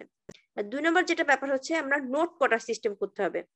পরীক্ষার আগের দিন আপনি এমন হবে যে, আপনি যে জিনিসটা পারেন, সেটাও পারতেছেন না। ইনফ্যাক্ট আমরা অনেক সময় আছে যে নিজের নাম বলতে যে কনফিউশন হয়ে যায় এত পড়তেছে জিনিসটা, এত পড়তেছে যে কোনটা পড়ব কোনটা পড়ব সেটাই জানি না। তো প্রথম দিক থেকে এটা মানে পয়েন্ট আউট করে রাখবেন, নিজস্ব খাতা বানাবেন যে পরীক্ষার আগে আমার এই জিনিসগুলো না দেখে গেলে পাপ হবে। বা এই জিনিসগুলো থেকে কোনো কোশ্চেন যদি ভুল হয় সেটাও পাপ হবে। কারণ এম এস পরীক্ষায় চান্স না পাওয়ার আরেকটা ব্যাপার হচ্ছে জানা কোশ্চেন ভুল হওয়া। অজানা কোশ্চেন সবার জন্যই অজানা। আমার কাছেও অজানা, আমার যে হলে যে আরও পাঁচশো জন আসছে তার জন্য অজানা। কিন্তু জানা কোশ্চেন যদি আপনি ভুল করেন, তার মানে আপনি দশ জনের থেকে অনেক পিছিয়ে গেলেন। কিন্তু জানা কোশ্চেন ভুল করা যাবে না এমএস পরীক্ষায় যেটা। কারণ এমএস পরীক্ষা হচ্ছে নাম্বারের ভিত্তিতে হচ্ছে। আবার এফসিপিএস পরীক্ষাটা নাম্বারের ভিত্তিতে না, ওটা আপনি পাশ করলেই আপনি চান্স পেয়ে যাচ্ছেন। সে আপনি একশো জন পাশ করলেও চান্স এক হাজার জন পাশ করলেও চান্স কিন্তু এমএস তো আবার সিট একটা ব্যাপার, বড় একটা ভাইটাল রোল প্লে করে। আমি এই ব্যাপারটা পরে আসি, আমি প্রস্তুতির ব্যাপারটা নিয়ে বলি। দেন আপনি প্রিভিয়াস কোশ্চেনের সাথে নিজে আগাইলে আপনি বুঝবেন। আপনি রেসপিরেটরি সিস্টেমটা মোটামুটি পড়ে ফেলছেন। পরবর্তী ব্লাড সিস্টেমে গেলেন। সেই সিস্টেমটাও দেখবেন ইজিলি পড়ে ফেলতেছেন। এখন আমি যতটা ইজি বলতেছি, ব্যাপারটা অতটাও ইজি না। হ্যাঁ? আমি আমি এখন বলার জন্য বলতেছি, আপনি যখন পড়তে বসবেন, আপনি যখন বুঝতে পারবেন যে ধাসটা আসলে কোন দিকে যাচ্ছে। এখন সবকিছু আমি পড়তে কখনো আমি যেহেতু নিজে পড়ি নাই তো আমি কাউকে বলব না, বাবা, তুমি পড়ো। কারণ যে জিনিস তোমার মাথায় ঢোকে না, সেটা নিয়ে টাইম নষ্ট করার কোনো দরকার হয় না। যেমন এন্ডোক্রাইন একটা বড় একটা ভাস্ট সাবজেক্ট ফিজিওলজির জন্য। এন্ডোক্রাইন থেকে আপনার মাসলি দুইটা থেকে তিনটা কোশ্চেন থাকবেই। এমএস এর এটা ফেট কথা মানে থাকবে দুটা থেকে তিনটা কোশ্চেন এখন আপনি এন্ডোক্রাইন পড়াটা বাদ দিয়ে যদি জিআইটি পড়া শুরু করেন, সেটা আপনার জন্য বোকামি হবে। জিআইটি থেকে কোশ্চেন থাকতেও পারে, নাও থাকতে পারে। এখন যেটা আমার না থাকতে পারে প্লাস মাইনাস বা একটা কোশ্চেন থাকল, সেটার পিছনে আমি টাইম নষ্ট করে এন্ডোক্রাইনটা পড়তে পারলাম না। এটা হচ্ছে বোকামি একটা। তো আমাকে আগে বুঝতে হবে যে ফিজিওলজির বেস্ট টপিক কোনগুলা থ্রি স্টার টপিক্স কোনগুলা? Three star টপিক্সগুলা physiology as like microbiology pharma patho, এগুলো হচ্ছে ফেট কোশ্চেন একদম। এগুলো ভুল করা যাবে না। এগুলো থেকে আগে থ্রি স্টার টপিক্স বের করতে হবে ফাইভ স্টার টপিক্স বের করতে হবে। দেন নিজেকে আগে চার্ট করতে হবে যে আমি এই জিনিসটা পড়লাম, এখান থেকে কি কি টপিক্স আমার পড়তেই হবে। মাস্ট পরীক্ষার আগে চোখ বোলাতেই হবে। সেই জিনিসটা পার্থক্য করলে আপনি দেখবেন আস্তে আস্তে পড়াটা অনেক ছোট হয়ে আসতেছে। যে হ্যাঁ আমি তো এগুলো এগুলো পারব। কারণ পরীক্ষার আগের দিন আপনি সব পড়ে যেতে পারবেন না। পরীক্ষার আগের দিন ইনফ্যাক্ট আপনি যেটা পড়ছেন সেটাও পড়ে যেতে পারবেন না। এরকমও হয়। তো ওই জিনিসটা আপনাকে চোখের সামনে ভাসতে হবে কীভাবে? এখন ভাসানোর জন্য কি কি করা যেতে পারে? যেটা বললাম যে আপনি নিজে খাতা বানাই ফেলবেন। কে কি করল, কে কি করল না, নিজে এটা দেখাতে হবে না আপনি কীভাবে পড়ছেন সেটা হচ্ছে মেন কথা। যে আমি এভাবে এভাবে পড়তে পছন্দ করি, আমি এভাবে এভাবে করব। যেমন আমি আমার পরীক্ষার আগে সবসময় ফিজিওলজির জন্য দুইটা খাতা প্যাথোর জন্য আলাদা আলাদা খাতা বানায় রাখতাম। যে এই জিনিসগুলো আমি পড়ে যেতেই হবে। এবং আমি আরেকটা কাজ করতাম, আমি যে বইটা পড়তাম মানে আমার যে সিটের কথাই বলতেছি মেন বইয়ের কথা আমি একটু পরে আসি সিটের কথা বলছি, আমি যেটা কোশ্চেনটা সলভ করতাম পাঁচটা স্টেমই তো আমার কমন থাকবে না, স্বাভাবিক কথা। যে স্টেমটা আমার আনকমন আমি কিছুই জানি না স্টেম সম্পর্কে, সেই স্টেমটা আমি ওই টপিক্সটার নিচেই লিখে রাখতাম, সেটা ছোট মানে প্যারে হোক বা পাশে হোক লিখে রাখতাম, যেন ওই স্টেম থেকে কিছু আসতে বা আশেপাশে কিছু আসতে আমি যেন বুঝতে পারি যে না, জিনিসটা এইভাবে এইভাবে আসছিল। বা ওই টপিকসগুলো আমি লিখে রাখতাম পাশে যে কোশ্চেন প্রিভিয়াস এর কোশ্চেন এটা। কিউ দিয়ে একটা সাল দিয়ে রাখতাম, যেটা আমার বোঝার জন্য, আপনি আপনার বোঝার জন্য লিখবেন যে এই কোশ্চেন থেকে বারবার কোশ্চেন আসতেছে। তো বারবার যেখান থেকে কোশ্চেন আসতেছে, সেটা তো ভুল করা যাবে না। ওখান থেকে ভুল করলে বুঝতে হবে যে এবার রেসিডেন্সি মিস কারণ যেহেতু রেসিডেন্সি হচ্ছে একটা মার্কের ব্যাপার থাকে। ভালো একটা ইনস্টিটিউটে চান্স পেতে গেলে ভালো একটা মার্ক আপনার অবশ্যই ক্যারি করতে হবে। না হলে আপনি ভালো ইনস্টিটিউটে চান্স পাবেন না। এখন ভালো খারাপ ইনস্টিটিউটে যেটা আসলো, এই ব্যাপারটা একটু ক্লিয়ার করে দিই। রেসিডেন্সিতে পাঁচ একটা ব্যাপার থাকে। রেসিডেন্সি পাঁচ বছরে আপনার দুইটা ফেজ থাকবে। একটা phase A phase B phase B হচ্ছে দুই বছর। আর ফেজ এ দুই বছর ফেজ বি হচ্ছে তিন বছর প্লাস ওখান থেকে থিতিস পার্ট থাকে। দেন ফেজ এতে ঢুকলে আপনি ইজিলি বুঝে যাবেন যে কি ব্যাপারটা, না ব্যাপারটা। এখন ফেজ এতে ঢুকাটাই হচ্ছে মেন আমাদের টার্গেট যেহেতু, আমি ফেজের কথাটা ক্লিয়ার করি যে ওই আপনার প্রস্তুতির যে ব্যাপারটা, ওই যে বললাম ক্লিয়ার করাটা, যে এইভাবে এইভাবে যদি পড়তে পারেন সবকটা সাবজেক্ট দেন মোটামুটি আপনার একটা প্রস্তুতি লেভেল চলে আসবে। আগে ফার্স্টে কোনটা ফোকাস করবেন? ফিজিওলজি মাইক্রোবায়োলজি প্যাথোলজি ফার্মা এই চারটা হচ্ছে একটা ফেড টপিক এবং এখান থেকে কোশ্চেন আসবেই। এবং এখান থেকে কোশ্চেন ভুল করা যাবে না। এখন ফিজিওলজি অনেক ভাস্ট একটা সাবজেক্ট এবং ম্যাডামরা স্যাররা চাইলে এখান থেকে কত কোশ্চেন আপনাকে কীভাবে দিবে আপনি নিজেও বুঝতে পারবেন না যে কোথেকে আসলো, এত কিছু পড়লাম কোথায় থেকে আসলো কোশ্চেনগুলা। কিন্তু এখান থেকে ব্যাপারটা হচ্ছে মাইক্রোবায়োলজি মাইক্রোবায়োলজি থেকে কোনো ঘোরানোর কিছু নেই। ওই ব্যাকটেরিয়া ব্যাকটেরিয়াই থাকবে ভাইরাস আর হয়ে যাবে না বা ভাইরাস ব্যাকটেরিয়া হয়ে যাবে না। তো ভাইরাস ব্যাকটেরিয়া থেকে যদি কোনো কোশ্চেন আসলো, আপনি পারলেন না, সেটা আপনি ডিসক্রেডিট এখন ভাইরাস ব্যাকটেরিয়ার মধ্যে জানার কিন্তু অনেক কিছু আছে। যেমন অ্যাজ লাইক লাস্টের দুই তিন বছর রেসিডেন্সিতে কোভিড থেকে হিউজ লেভেলের কোশ্চেন আসছে। এখন আপনি কোভিড এর তো অনেক কিছু আছে। আপনি কোথা থেকে পড়বেন? কোভিড যেটা করোনা ভাইরাস যেটা। করোনা ভাইরাস তো আগে আমরা নামও জানতাম না পড়তাম না। যে ওটাতে আরএনএ ভাইরাসের মধ্যে ছিল, এটাই আমি জানতাম না। করোনা আমি পরে পড়াশোনার আগে, যে আচ্ছা কোভিড একটা আরএনএ ভাইরাস ছিল। ব্যাপারটা হচ্ছে এরকম যে আমরা পড়াশোনা কিন্তু অত কিছু মাথায় নিয়ে পড়ি না, এটাই স্বাভাবিক কথা। আমরা জাস্ট পাশের জন্য পড়ি, আমাদের একটা ভুল হচ্ছে এটাই যে আমাদের এমবিবিএস লাইফে আমাদের সবাই বসে পাস করতে হবে পাস করতে হবে। এই জন্য কোনটা যে কি আশেপাশে এটা আমাদের দেখারও টাইম নেই, আমরা পড়িও না। যে পড়ে সে তো খুবই ভালো স্টুডেন্ট বলতে হয়, সে খুব ভালো মানুষ। কিন্তু আমরা আসলে অধিকাংশ স্টুডেন্ট এরকম যে আমাদের আগে ফোকাস থাকে আমরা পাস করতে হবে কীভাবে? পাস করলে বাবা তোমরা পাস করো, ব্যাপারটা হচ্ছে এরকম। তো আলটিমেটলি যেটা বললাম যে করোনা ভাইরাস সম্পর্কে, আপনি কীভাবে জানবেন? এখন করোনা ভাইরাস সম্পর্কে নিজের থেকে জানতে পারলে তো খুবই ভালো। এখন গুগল আছে ইউটিউব আছে, বিভিন্ন রকম মাধ্যম আছে। আপনি চাইলে একটা জার্নাল ইজিলি পড়তে পারবেন। আপনি যে জার্নালটা নিজে পড়বেন, আপনার কোচিং সেন্টার ওইটাই সার্ভ করবে আপনাকে। এখন আপনি কি রান্না করা জিনিস সার্ভ করবেন, নাকি নিজে রান্না করে খাবেন? সেটা তো আপনার ব্যাপার। এখন এই যেটা আপনি তার তার ব্যক্তিগত ব্যাপার হতে পারে যে না আপু আমি রেডিমেড খাবারই পছন্দ করি। আর কেউ কাছে না আমি খাবার রেডি করে দেন, তারপরে খাব। ওই কোচিং সেন্টারটা আমাদের মেনলি ওটাই করো। তারা তো আর বাইরে থেকে কিছু বানাবে না। তারা বিভিন্ন রকম তথ্যগুলো আপনাকে এক করে দিবে। আর আপনার, আপনি যদি নিজের থেকে চান, আপনি নিজের থেকে তথ্যগুলো এক করে এক জায়গায় শর্ট লিখে রাখবেন। এটা হচ্ছে মেন কথা। আর দুই নম্বর যেটা ব্যাপার হচ্ছে মাইক্রোবায়োলজি ফার্মা যেটা বললাম, এগুলো একটু ভাস্টলি পড়ার অত কিছু নাই। এটা জাস্ট আপনি যে কোশ্চেন প্রিভিয়াস কোশ্চেন আসতেছে, সেটার সাথে সাথে মিল রেখে রেখে আপনি পুরোটা পড়ে ফেলতে হবে। ওখানে আবার শর্টকাট করা যাবে না। ও আচ্ছা এখান থেকে একটু শর্টকাট করি। মানে আমাদের আবার শর্টকাটের একটা টেকনিক থাকে। আচ্ছা এত কিছু পড়ার দরকার, এগুলো তো কেমন আসবে না? আমি যেটা বাদ দিব, সেটা থেকেই কোশ্চেন আসে। এটাও একটা ব্যাপার আছে যে, আমি যে টপিক্স বাদ দিচ্ছি সেটা থেকেই কোশ্চেন আসছে। তো এই জিনিসটা শর্টকাট করা যাবে না। যেটা থেকে পড়তে হবে, একদম পুরোটা ভালো মতো পড়তে হবে। আন্তপান্ত সবে পড়তে হবে। মানে এখানে একটা, ওখানে একটা এরকম পড়া যাবে না। মানে গ্যাপ থাকা যাবে না ল্যাকিংস থাকা যাবে না। তাহলে ওই জন্য হলে আমাদের ওই স্যারের মতোই বলতে হবে যে, তুমি পাস করতে পারো না যে কোশ্চেন তুমি পারো না, তোমার বেসিক ক্লিয়ার না। এখন আমাদের তো এখন মানে ব্যাপারটা হচ্ছে বেসিক এর কোনো কিছু নেই, ঠিক আছে? বেসিক সবারই মোটামুটি ক্লিয়ারই থাকে। হয়তো বা কনসেপশন সব ব্যাপারে যে আমার ক্লিয়ার এরকম না। বা আপনার ক্লিয়ার এরকমও থাকবে না। কারণ সবাই সবকিছু তো পারবে না, এটাই ব্যাপার। এবার আসে সব থেকে মেনলি সমস্যা যেটা হয় আমাদের, সেটা হচ্ছে অ্যানাটমি অ্যানাটমি তো মহাসাগর, ওখান থেকে কি পড়ব আপু? অ্যানাটমি পড়তে গেলে মানে পড়া তো পরের কথা অ্যানাটমি মনেই থাকে না। যে পড়ব যে আমি অ্যানাটমি মনেই থাকে না। একশো মার্কের মধ্যে অ্যানাটমি থেকে কোশ্চেন আসে দশ থেকে বারোটা। আর দুইশো মার্কের যদি কোশ্চেন হয়, সেখান থেকে অ্যানাটমি আসে বিশ থেকে পঁচিশটা। এখন দশ থেকে বারোটা কোশ্চেন যদি আমি ধরে রাখি, তাহলে বেস্ট একটা কোশ্চেন আপনাকে অ্যান্সার করা লাগতেছে অ্যানাটমি থেকে। অ্যানাটমি সাবজেক্টটা বাদ দিয়ে দেয় অনেকে। কোনো সাবজেক্ট বাদ দেওয়া যাবে না। এটা আমরা একটা বোকামি। যে সাতটা সাবজেক্ট কভার দিতে পারতেছি না আচ্ছা অ্যানাটমিতে তোমার তো দশ বারোটা, এত পড়ে নষ্ট করে লাভ কি? আমি অ্যানাটমিটা বাদই দিয়ে দিই। এটা করা যাবে না। কোনো কিছু বাদ দিয়ে রেসিডেন্সিতে যাওয়া যাবে না। পুরোপুরি বাদ দেওয়া বলতে অধ্যায় আপনি বাদ দিতে পারেন, কিন্তু সেটাও আপনি বুদ্ধি করে টেকনিক্যালি আপনি হ্যান্ডেল করবেন। মানে সেটা আমি বলে দেবো না যে হ্যাঁ তুমি এটা বাদ দিয়ে দাও। কারণ এটা বলতে আপনি নিজেই পড়তে গেলে বুঝবেন যে না, তাহলে এখান থেকে মনে হয় বাদ দিতে পারি। ওই কনফিডেন্সটা যখন আপনি চলে আসবে, তখনই বুঝবেন যে আপনি প্রস্তুতি লেভেল আপ টু লেভেলে যাচ্ছে, আপনি ঠিক পর্যায়ে যাচ্ছেন। কারণ এত কিছু পড়ে আসলে কেউ মনে রাখতে পারে না এটা মেন কথা। অ্যানাটমি তো মনে রাখা সম্ভবই না। ওই আর্টারি সাপ্লাই ব্লাড সাপ্লাই কোথায় কোনটা অ্যান্টিরিয়র না পোস্টিরিয়র নিচ দিয়ে যাচ্ছে না উপর দিয়ে যাচ্ছে, ওটাই আমরা কেউ বলতে পারব না, পরীক্ষার সময় কেউই পারে না এটা সত্যি কথা। যে অ্যানাটমি নিয়ে পাঁচ ছ বছর পড়ছে তার ক্ষেত্রে একটা সম্ভাবনা থাকে। আমি অ্যানাটমি আমরা অ্যানাটমি সবাই পড়ে থাকি। ফার্স্ট ইয়ারে অ্যানাটমির প্রতি সবার ভালোবাসা থাকে, কারণ ভালো মতো ওটাই পড়া হয় বেশি। তো তবুও এই পোস্ট গ্রাজুয়েশন এসে অ্যানাটমিটা নিয়ে আমাদের প্রবলেমটা বেশি হয়ে যায়। এখন অ্যানাটমির জন্য যেটা আমি পার্সোনালি যেটা ফলো করছিলাম, সেটা আগে বলি তার আপনাদের, আপনারা কীভাবে করতে পারেন সেটা বলি। অ্যানাটমি আমার একটা ভীত একটা সাবজেক্ট ছিল। আমি অ্যানাটমি পড়ছিলাম জাস্ট আমার, এখন আমার প্রিপারেশনের ব্যাপারটা একটু অন্যরকম আপনাদের থেকে। আমি এক বছর আগে থেকে করে নিশ্চিত আমি এমএস পরীক্ষাটা দিব, কিন্তু আমি আসলে, আমি চাকরি বাকরি, আমি একটা জব করতাম জবে ঢুকে গেছিলাম। এখন জব থেকে করাটা, পড়াশোনাটা কন্টিনিউটা বেশ হার্ড সবার জন্যই তো যে আমার জন্য বেশ হার্ড এখন প্রতি মাসে আমি চিন্তা করি, আমি এ মাস থেকে পড়া শুরু করব, এ মাস থেকে পড়া শুরু করব। আলটিমেটলি আমার পড়াটা হচ্ছিল না ঠিক মতো আমি নিজেও বুঝতেছিলাম পড়াটা হবে না। জুলাই মাস যখন শেষ হয়ে যাচ্ছে, জুলাই থেকে আগস্ট যখন গেল এফসি পেস একটা হয়ে গেছে। আমি বসি নাই তখন এফসি পেসটাতে আমার অনেক ফ্রেন্ড এফসি পেস হয়ে গেছে। তখন আমি আচ্ছা আমি যে সামনে এমএস দেবো, তাহলে আমি কীভাবে প্রস্তুতি নিয়ে এমএস দেবো? আমার এই প্রস্তুতি তো জীবনে কোনদিন এমএস হবে না।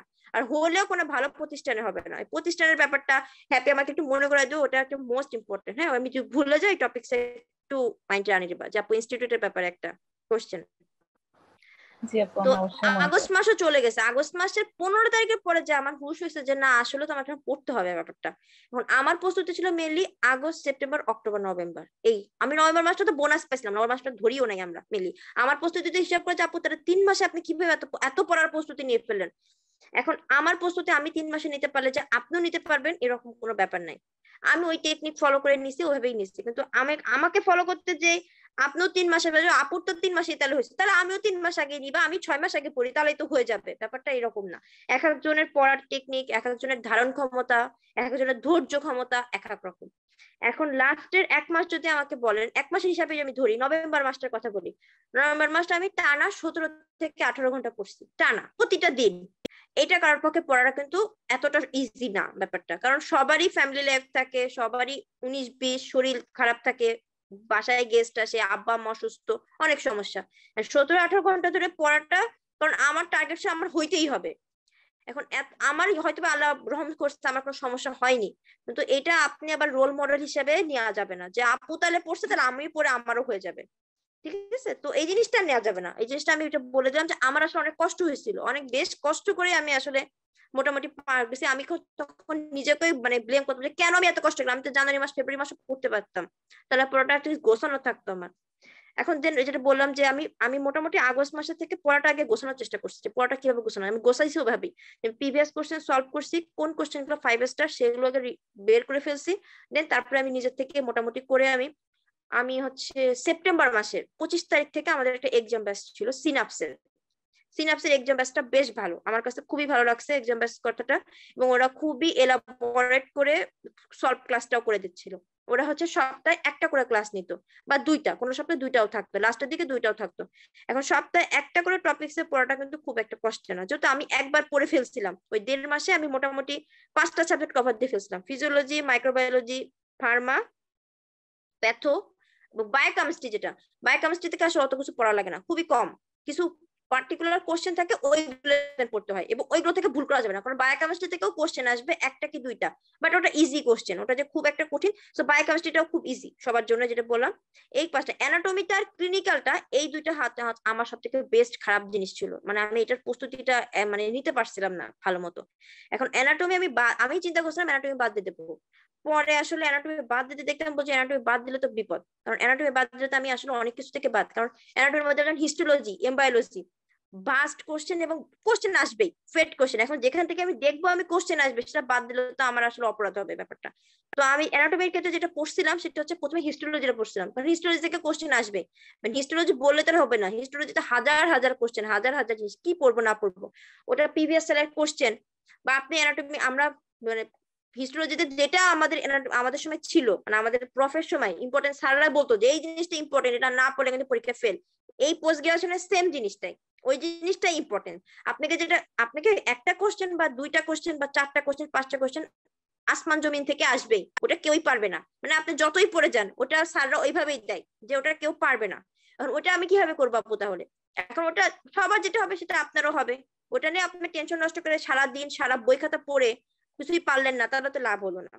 এম বায়োলজি যেটা এম বায়োলজি মোটামুটি সহজ ইজি সাবজেক্ট বুঝে পড়লে ইজিলি তাড়াতাড়ি পাওয়া যাবে এবং ওটাতে কোশ্চেন আসবেই, এটা একটা ব্যাপার।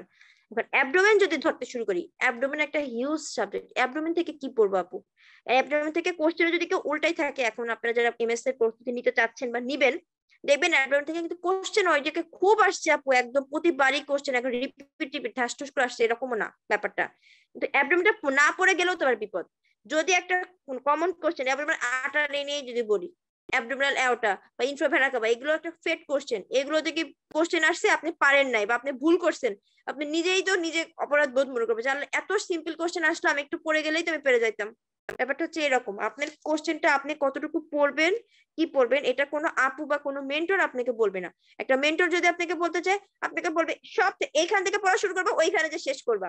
একদম, স্বাভাবিক কথা। সে তো, সেও তো জানে না সে কোথেকে কোশ্চেনটা দিবে। এটা তো মেনলি আপনাকে বুঝতে হবে যে আপনি কথাটা কতটুকু পড়বেন কতটুকু পড়লে আপনি অ্যাটলিস্ট মোটামুটি বুঝতে পারবেন যে, না, এই জিনিসটা আমি এখন পারব। একটু হলেও আমি বুঝতে পারছি ব্যাপারটা। হার্ট লাঞ্চ অ্যাজ ইউজুয়াল সেটাই অ্যানাটমির ক্ষেত্রে যেটা। হার্ট লাঞ্চ থেকে মোটামুটি কোশ্চেন আসে। এখন হার্ট লাঞ্চে আমরা আগে যেগুলো পড়ছি, এখনও সেই জিনিসটাই পড়া লাগে। হার্ট লাঞ্চ তো চেঞ্জ হয়ে যাবে না পোস্ট গ্রাজুয়েশনে যে পোস্ট গ্রাজুয়েশন পরীক্ষা দিয়েছি কি হার্টের পজিশন চেঞ্জ হয়ে গেছে। ব্যাপারটা তো এরকম না। হার্টের আটারি সাপ্লাই যা থাকবে, ওই লাঞ্চের পজিশনও সেটাই থাকবে। রাইট লাঞ্চ লেফট লাঞ্চের মধ্যে পার্থক্য সেম জিনিসই থাকবে। সেম জিনিসের মধ্যে আমরা ভুলটা করে থাকি।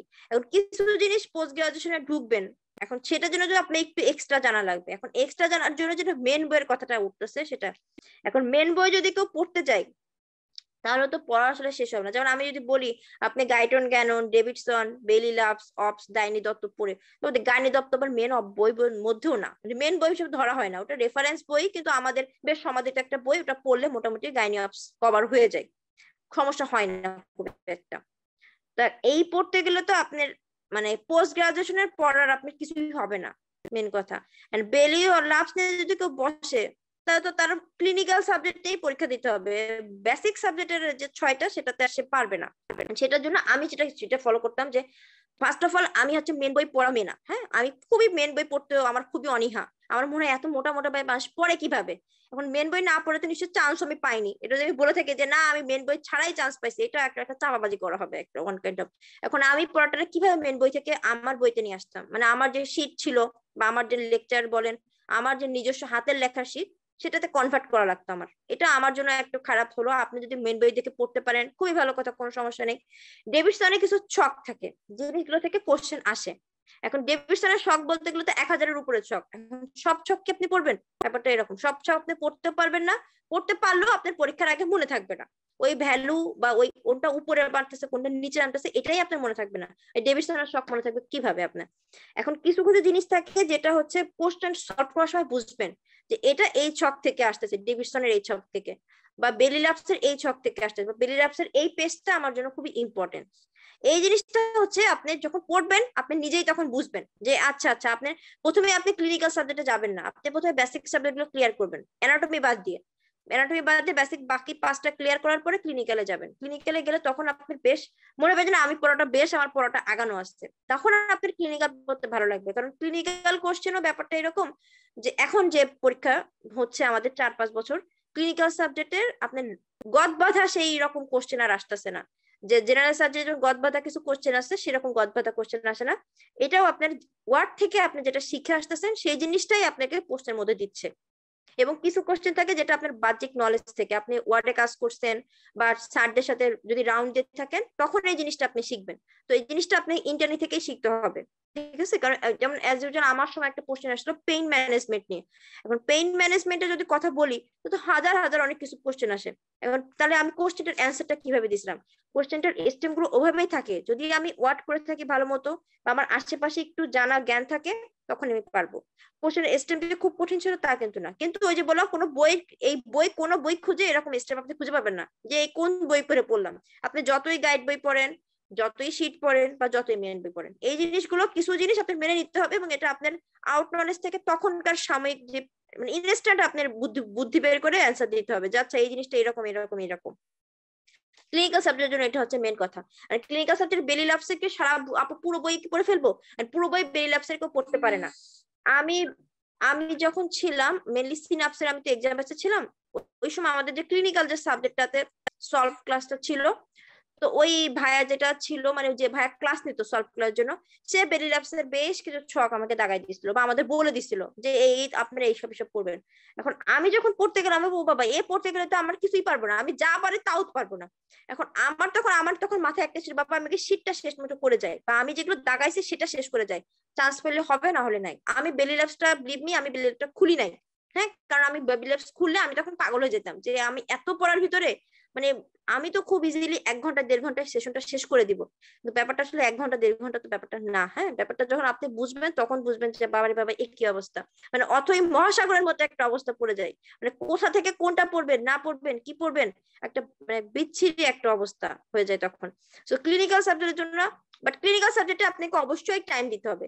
কারণ এখন বর্তমানে সমস্ত কোশ্চেনগুলো ক্লিনিক্যাল রিলেটেড আসতেছে। এখন আর আগের মতো এরকম মানে গদভাদা কোশ্চেন আসছে না। ইনফ্যাক্ট আপনার ফার্মাকোলজি যেটা বলি ফার্মাকোলজি আপনি ক্লিনিক্যাল থেকে আসতেছে। একটা পেশেন্ট লেবারে আসলো, আপনি কোন কোন ওষুধ দিবেন, কোন কোন ওষুধ দিবেন না। এখন এটা তো একটা one kind of clinical scenario থেকে আসতেছে। বা একটা পেশেন্ট এরকম হাইপার টেনশন নিয়ে আসছে বঙ্কেল অ্যাজমা নিয়ে আসছে, আপনি কোন কোন ওষুধ দিবেন, কোন কোন ওষুধ দিবেন না। এখন আগের মতো ওইরকম হয় না যে বঙ্কো কনস্ট্রিকশন কোনগুলো আর বঙ্কো ডায়ালেটার কোনগুলা। বা জাস্ট ওইটা জানলেই আপনার হচ্ছে না। মানে আগে থেকে বেশ প্যাটার্ন চেঞ্জ হচ্ছে এবং পরবর্তীতে প্যাটার্ন মানে যত সাল যাবে প্যাটার্ন তত চেঞ্জ হচ্ছে। কারণ আমাদের স্যার ম্যাডাম বা আমরা নিজেরাই তো অনেক আপডেট হয়ে যাচ্ছি এখন। কারণ আমরা আপডেট হলে আমাদের কোশ্চেন প্যাটার্ন আপডেট হবে, এটাই স্বাভাবিক। এই জন্য আমার সবাইকেই ইন্টার্ন যে ডাক্তাররা যারা আসছেন বা যারা শুনতেছেন বা যারা শুনবেন পরে তাদের সবাইকে একটাই কথা বলা যে আপনারা যত তাড়াতাড়ি সম্ভব পোস্ট গ্রাজুয়েশনে ঢুকে যাবেন। যত দিন যাবে, তত আপনার পোস্ট গ্রাজুয়েশন পরীক্ষাটা তত কঠিন হয়ে যাবে। তত আপনাদের মধ্যে ফ্রাস্ট্রেশন কাজ করবে। এক বছরের পরে দেখবে যখন আপনার ফ্রেন্ডরা বা আপনার আশেপাশে কেউ হয়ে গেছে, তখন নিজের মধ্যে ফ্রাস্ট্রেশনটা আরও বেশি কাজ করবে। বাবা, ওর হয়ে গেল, আমার হলো না, ব্যাপারটা এরকম। আবার যখন দেখবেন ফ্যামিলি লাইফে চলে যাচ্ছেন ফ্যামিলি লাইফে একটা প্রেশার এদিকে পড়তেও পারতেছেন না, আবার এদিকে ফ্যামিলি লাইফে একটা হিউজ চাপ, তো সবকিছু মিলে চার পাঁচ বছর একটা গ্যাপ চলে যায়। আরও অনেক অনেক গ্যাপ যেমন আমার সাথে যাই আপুরা বিএসএম চান্স পাইছে তারা সবাই আমার থেকে বেশ সিনিয়র সাত, আট বছরের সিনিয়র তাদের সাথে কথা বললে বা তাদের স্ট্রাগল শুনলে মনে হবে যে আমি কিছুই না। আমি তো একেবারে সোনার চামচ মুখের জন্মাইছি, আমার এরকম মনে হবে তাদের কথা শুনলে। তো আমি জিনিসটা পারছি বলে আপনিও জিনিসটা পারবেন, এরকম না। আবার আপনি যে পারবেন না, এরকমও না। আমি পারছি আপনি অবশ্যই পারবেন। কারণ আমার জ্ঞান আর আপনার জ্ঞানের মধ্যে খুব তফাৎ নেই। হয়তো বা উনিশ এবং বিশ, বরং আমার জ্ঞান আপনার থেকে কমই হবে হিসাবে। কারণ আমি খুবই যে অ্যাটেন্টিভ স্টুডেন্ট এরকম ছিলাম না। আমি খুব টেকনিক্যাল স্টুডেন্ট ছিলাম। আমি সব ক্লাসের নোট টোট নিয়ে একদম অস্থির করতাম, এরকম ব্যাপারটা না। বাট আমি হ্যাঁ আমি আমি আমার মেডিকেল লাইফে খুব টেকনিক্যাল ওয়েতে পড়াশোনা করতাম। যতটুকুই পড়তাম, আমি খুব চেষ্টা করতাম যে জিনিসটার ভিতর পর্যন্ত যাওয়ার। জিনিসটা দেখি কোথায় কোথায় কি কি আছে। আমি ইনফ্যাক্ট আমি কোনো টপিক যদি আমার মনে ধরতো জিনিসটা, এই জিনিসটা আমার জানা লাগবে। আমি সেটা গুগল করতাম। যে দেখি গুগলে কি কি আছে। দেখি এই জিনিসটা কি জিনিস। বা অনেক সাবজেক্টে আছে অনেক ওয়ার্ডই আছে আমাদের মেডিকেলে এই কোশ্চেন সলভ করতে যেই দেখবেন যেটা আপনি মিনিং বুঝতেছেন না। এখন মিনিংটা না বুঝে আপনি গড় গড় করে মুখস্থ করে যাচ্ছেন, এই জিনিসটা করবেন না। ওইটারই সিনোনিম আবার পরীক্ষাতেও আসে। এখন আপনি যদি মিনিংটার মেন অর্থটা জানেন তো দেখবেন আপনি ওই সিনারিওটা বুঝতে পারতেছেন জিনিসটা। সো আপনি যদি কোনো কিছু মনে হয় যে এটা আমার কাছে একটু আননোন লাগতেছে, ব্যাপারটা কি? ইজিলি গুগল করতে পারবেন। সবকিছু এখন গুগলে পাওয়া যাবেন ইজ অ্যান্ড এভরিথিং গুগলে পাওয়া যায়। সো এই জিনিসটা না যে জানাটা অপরাধ একটা। যে আমি যেটা জানি না, আমি মুখস্থ করে গেছি জিনিসটা। মুখস্থ করলে কোশ্চেন পাওয়ার সম্ভাবনা চান্স পাওয়ার সম্ভাবনাটা খুব কমে যায়। বাট আপনি যদি মানে বুঝে যান জিনিসটা আপনি কোশ্চেনের চান্স পেয়ে যাবেন বেশি করে। এখন যে জিনিসটা মুখস্থ জিনিস সেই জিনিসটা তো আপনার কোনো সমস্যা মানে আপনাকে কেউ কিছু বলতে বুঝাইতে পারবে না। আমি একটা আপনাকে একটা টার্ম বুঝাই দিতে পারি যে আমি এই ছন্দ ছন্দ মনে রাখছিলাম। ছন্দ বানানোর দায়িত্ব হচ্ছে আপনার। আপনি যদি ছন্দ নাও বানাতে পারেন সেটাও কোনো অপরাধ না। মনে রাখার মেন কথা মনে রাখতে হবে। মনে রাখতে পারলে আপনি সাকসেস মনে রাখতে পারলে আপনি সাকসেস না। ওই যে ব্যাকটেরিয়া গুলো একটা নাম বা আমাদের মাইক্রোবায়োলজি লেন্স খুললে বড় একটা ব্যাকটেরিয়ার চার্ট পাওয়া যায়। ওই চারটা আপনাকে মুখস্থ করে যাইতে হবে। এখন আমাকে যদি জিজ্ঞাসা করেন তোমার আপনি কীভাবে মুখস্থ করছিলেন? আমি বাবা, আমার ওয়েতে আমি মুখস্থ করব। কিন্তু আমার ওই যে আপনার ফলো করতে হবে, এরকম কোনো ব্যাপার নেই। আপনি আপনার ওয়েতে মুখস্থ করে যাবেন। মেন কথা, আপনি পরীক্ষায় ডেলিভারি দিতে পারবেন, এটাই আপনার মেন ফোকাস কে কীভাবে মুখস্থ করছে, কে কতটুকু পড়ছে, কে কীভাবে পড়ছে, এটা মেন কথা না। চান্স পাওয়ার পরে আলটিমেটলি যেমন অ্যাজ আমি চান্স পাওয়ার পরে আমার স্ট্রাগল বা আমি কতটা ইজি ওয়েতে স্মুথ ওয়েতে গেছি, এটার গল্প এখন সবাই শুনতে চাবে। কিন্তু আপনি যদি চান্স না পান, আপনি যদি সারা রাত ঘুমাননি এক মাস ঘুমাননি বা এক মাস আপনি ঠিক মতো কারোর সাথে কথা বলেনি যান নাই, কোথাও ঘুরতে যান নাই, এটা কিন্তু কেউ আর শুনবে না। কারণ সবাই সাকসেস গল্পটা শুনে। কিন্তু সাকসেসের পিছনের যে কতটা কি, সেটা কিন্তু কেউ শুনে না। আজকে এই সামনের বছরে মার্চ দু হাজার চব্বিশে যারা পরীক্ষা দেবে, আমার মতো অনেক স্টুডেন্ট বা আমার মতো অনেক আপুই আসবে তাদেরও ওই রকম স্ট্রাগল লাইফ থাকবে। কিন্তু তাদেরও ওই যে শুনতে গেলে সবার গল্পে খুব ভালো লাগে। ভালো বাহ, আপু এত ইজিলি হয়ে গেছে? তার মানে তো সবকিছু অনেক ইজি ব্যাপারটা অতটাও ইজি সব ক্ষেত্রে হয় না আসলে। কারণ সবারই আসলে এখন যেহেতু আমার একটা, আমরা বেসিক্যালি আমাদের মেয়েদের কথাই বলি। একটা নির্দিষ্ট ব্যাপার পর আমাদের সবারই একটা ফ্যামিলি লাইফ চলে আসে। হাজবেন্ড বলেন ফ্যামিলি লাইফ বলেন বাচ্চা কাচ্চা বলেন, সবাই নিয়ে একটা ঝামেলাতেই একটা থাকে। এটা ঝামেলাই আসলে এখন বলতে হয়। কারণ যেহেতু আমাদের আসলে মেয়েদের কিন্তু বড় প্রতিবন্ধকতাই হয়ে যায় এটা। যে, কারণ বাবা কিন্তু বাচ্চা ছেলের আসতে পারে, কিন্তু মা কিন্তু বাচ্চাকে ছেড়ে আসতে পারে না। এখন অনেক আপুই আসছে কোর্সে ঢোকার পরে এই কোর্সটা কন্টিনিউ করতে পারে না, শুধুমাত্র ফ্যামিলি সাপোর্ট নাই বলে। তো এই জিনিসটা আমি যে, আমি যেটা বললাম ইনস্টিটিউটের সাথে আমি এই এই ব্যাপারটা আপনাদের একটু ক্লিয়ার করে দিব কজ এমএস আসলে ঢোকার পরে একটা জিনিসের চান্স পাওয়ার পরে ছেড়ে দেওয়াটা কিন্তু কষ্টকর। আর আপনি যদি চান্স পাওয়ার আগে জিনিসটা জেনে আসেন তাহলে আপনি মানতে পারবেন যে আমি তো জেনে বুঝে এখানে আসছি, আমি তো না জেনে এখানে আসিনি। ঠিক আছে? তো এই জিনিসটা, এটা পড়াশোনা যেটা বললাম যে আপনারা পড়াশোনাটা যদি সিস্টেমেটিক ওয়েতে বা টেকনিক্যাল ওয়েতে যেতে পারেন ইনশাল্লাহ আপনারা অবশ্যই সফল হবেন। কারণ পোস্ট গ্রাজুয়েশনটা অনেক বড় পড়া, অনেক ভাস্ট পড়া।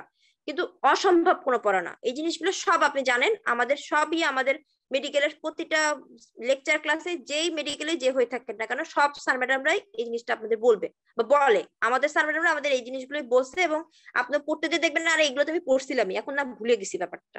আর ক্লিনিক্যালের যে ব্যাপারটা আর অ্যানাটমি যে ব্যাপারটা মেন লাগে অ্যানাটমিটা ক্লিয়ার করি। অ্যানাটমি যেটা, কিছু কিছু জিনিস আছে যেগুলো পড়তেই হয়। যেমন এমবায়োলজি হিস্টোলজি আপনার যদি টাইম থাকে, তো সেই ক্ষেত্রে আপনি অ্যানাটমিটা আরেকটু ভাস্টলি পড়লেন। পড়তে তো কোনো দোষ নেই, পড়ে কোনো লস কোনো কিছু নাই। কিন্তু আমার হাতে টাইম ছিল না, এই কারণে আমি আসলে অ্যানাটমিটা অত বেশি ফোকাস দিয়ে পড়ি নাই। এখন আমার সমস্যা হয় নাই বলে আমি হয়তো বা আপনাদের সামনে আসছি। আমার সমস্যা হলে কিন্তু আমি আর আসতে পারতাম না।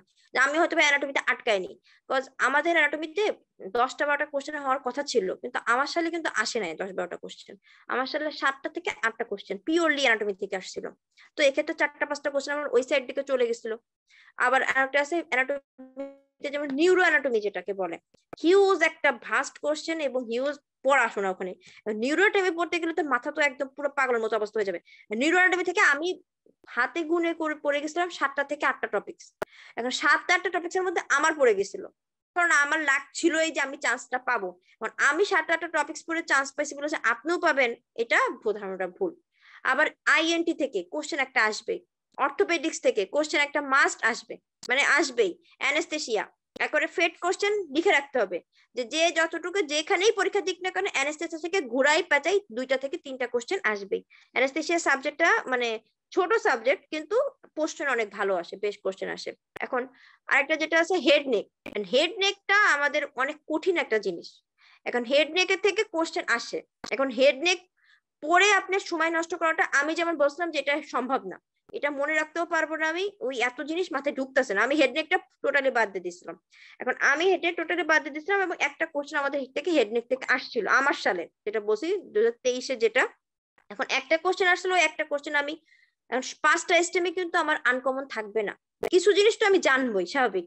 এখন একটা যদি আপনি বুঝতে পারেন যে আমি এটা ট্রু ঠিক আছে, ওইটা থেকে নাম্বার তো পাচ্ছেন আপনি। ট্রু মানে ট্রু আর বাকিগুলো যেটা বাকি তো যেটা যেটা, সেটা তো আপনার ওই যে যেটা বললাম যে বাকিটা আপনার লাক বাই চান্স বা একটু বুঝে শুনে ট্রু না ফলস সেটা দিতে হবে, এরকম। আর পরবর্তী যেটা হচ্ছে হেডনেকটা আমি মেনলি বাদ দিয়েছিলাম, কিন্তু আমার একটা টপিক আমি পড়ছিলাম, ওই যে আপনারা সবাই যে ইউনিপোলার বাইপোলার নিউরোনার যেটা, ওই জিনিসটা থেকে আসছিল কোশ্চেনটা এবং ওটা আমি মেনলি চান্স হয়ে গেছিল আমার এভাবে ওইখান থেকে কোশ্চেন আসছে ওখান থেকে আমি পড়ে গেছিলাম ব্যাপারটা। এখন আমি পড়ে গেছি বলে, আপু, এই ছাড়টা প্রশ্ন পড়েই চান্স পেয়ে গেছে তার তো আমিও পাবো। ব্যাপারটা এরকম না। আপনি একটু এলাবোরেট করে পড়েন, কারণ আপুর হাতে আসলে টাইম ছিল না। আমি আগে দিছি ফাঁকি তো লাস্টের দিকে আমি পড়ে গেছিলাম আসলে প্যারাই কিন্তু যারা প্রস্তুতি নিতে চাচ্ছেন, ভালো মতো করে সুন্দর মতো করে প্রস্তুতি নেওয়াটা বেটার সব থেকে আমি যেটা মনে করে থাকি। আর যেটা হচ্ছে অ্যানাটমির ক্ষেত্রে তো গেল ওইভাবে নিজেরা একটু কনসাইজ করে পড়বেন। অ্যানাটমি যে সব পড়ে পারবেন তা কিন্তু না।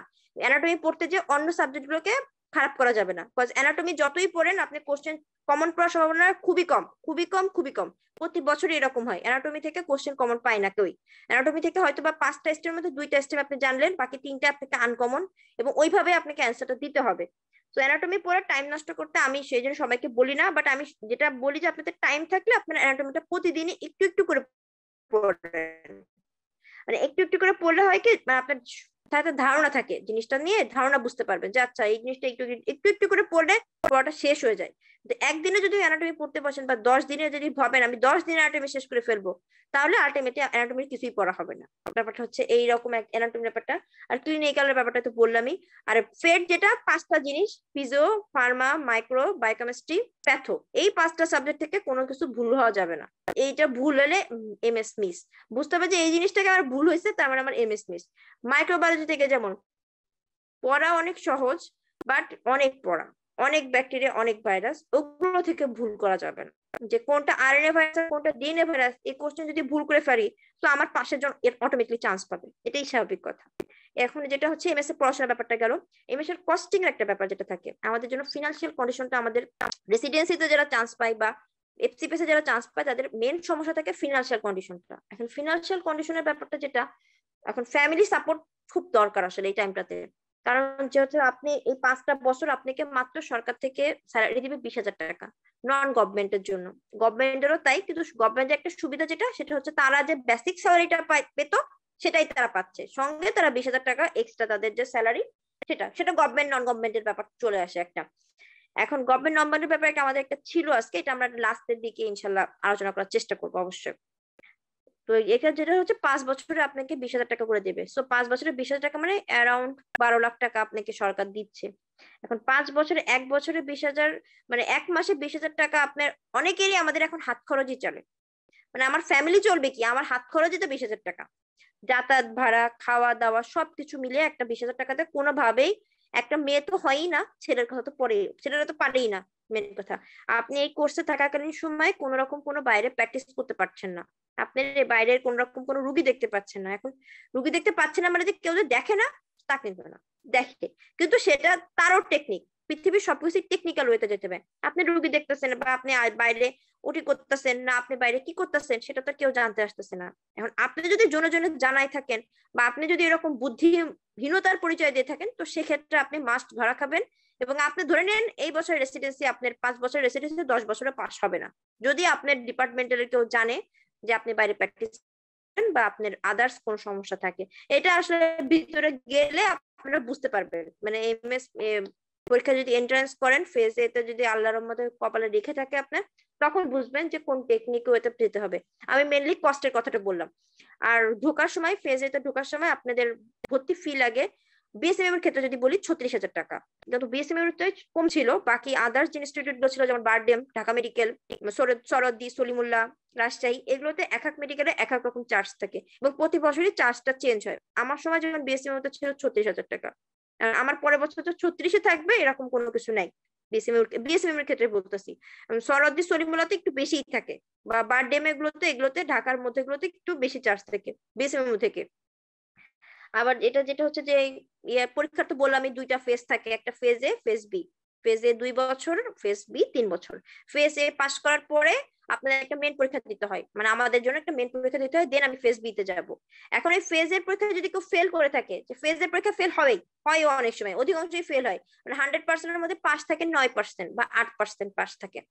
তো সেই ক্ষেত্রে আপনার ছয় মাস বসে থাকতে হবে। ছয় মাস পরে আপনাকে আবার সাপ্লিমেন্টারি ক্লিয়ার করে দিতে হবে। সাপ্লিমেন্টারির মধ্যে সুবিধা সরি সুবিধা হচ্ছে একটাই, যে এখানে আবার written short case long case OSPE চারটা স্টেশন আপনি পার করতে হবে। আপনি যে স্টেশনটা খারাপ করবেন সেটাই আপাতত দিতে হয়।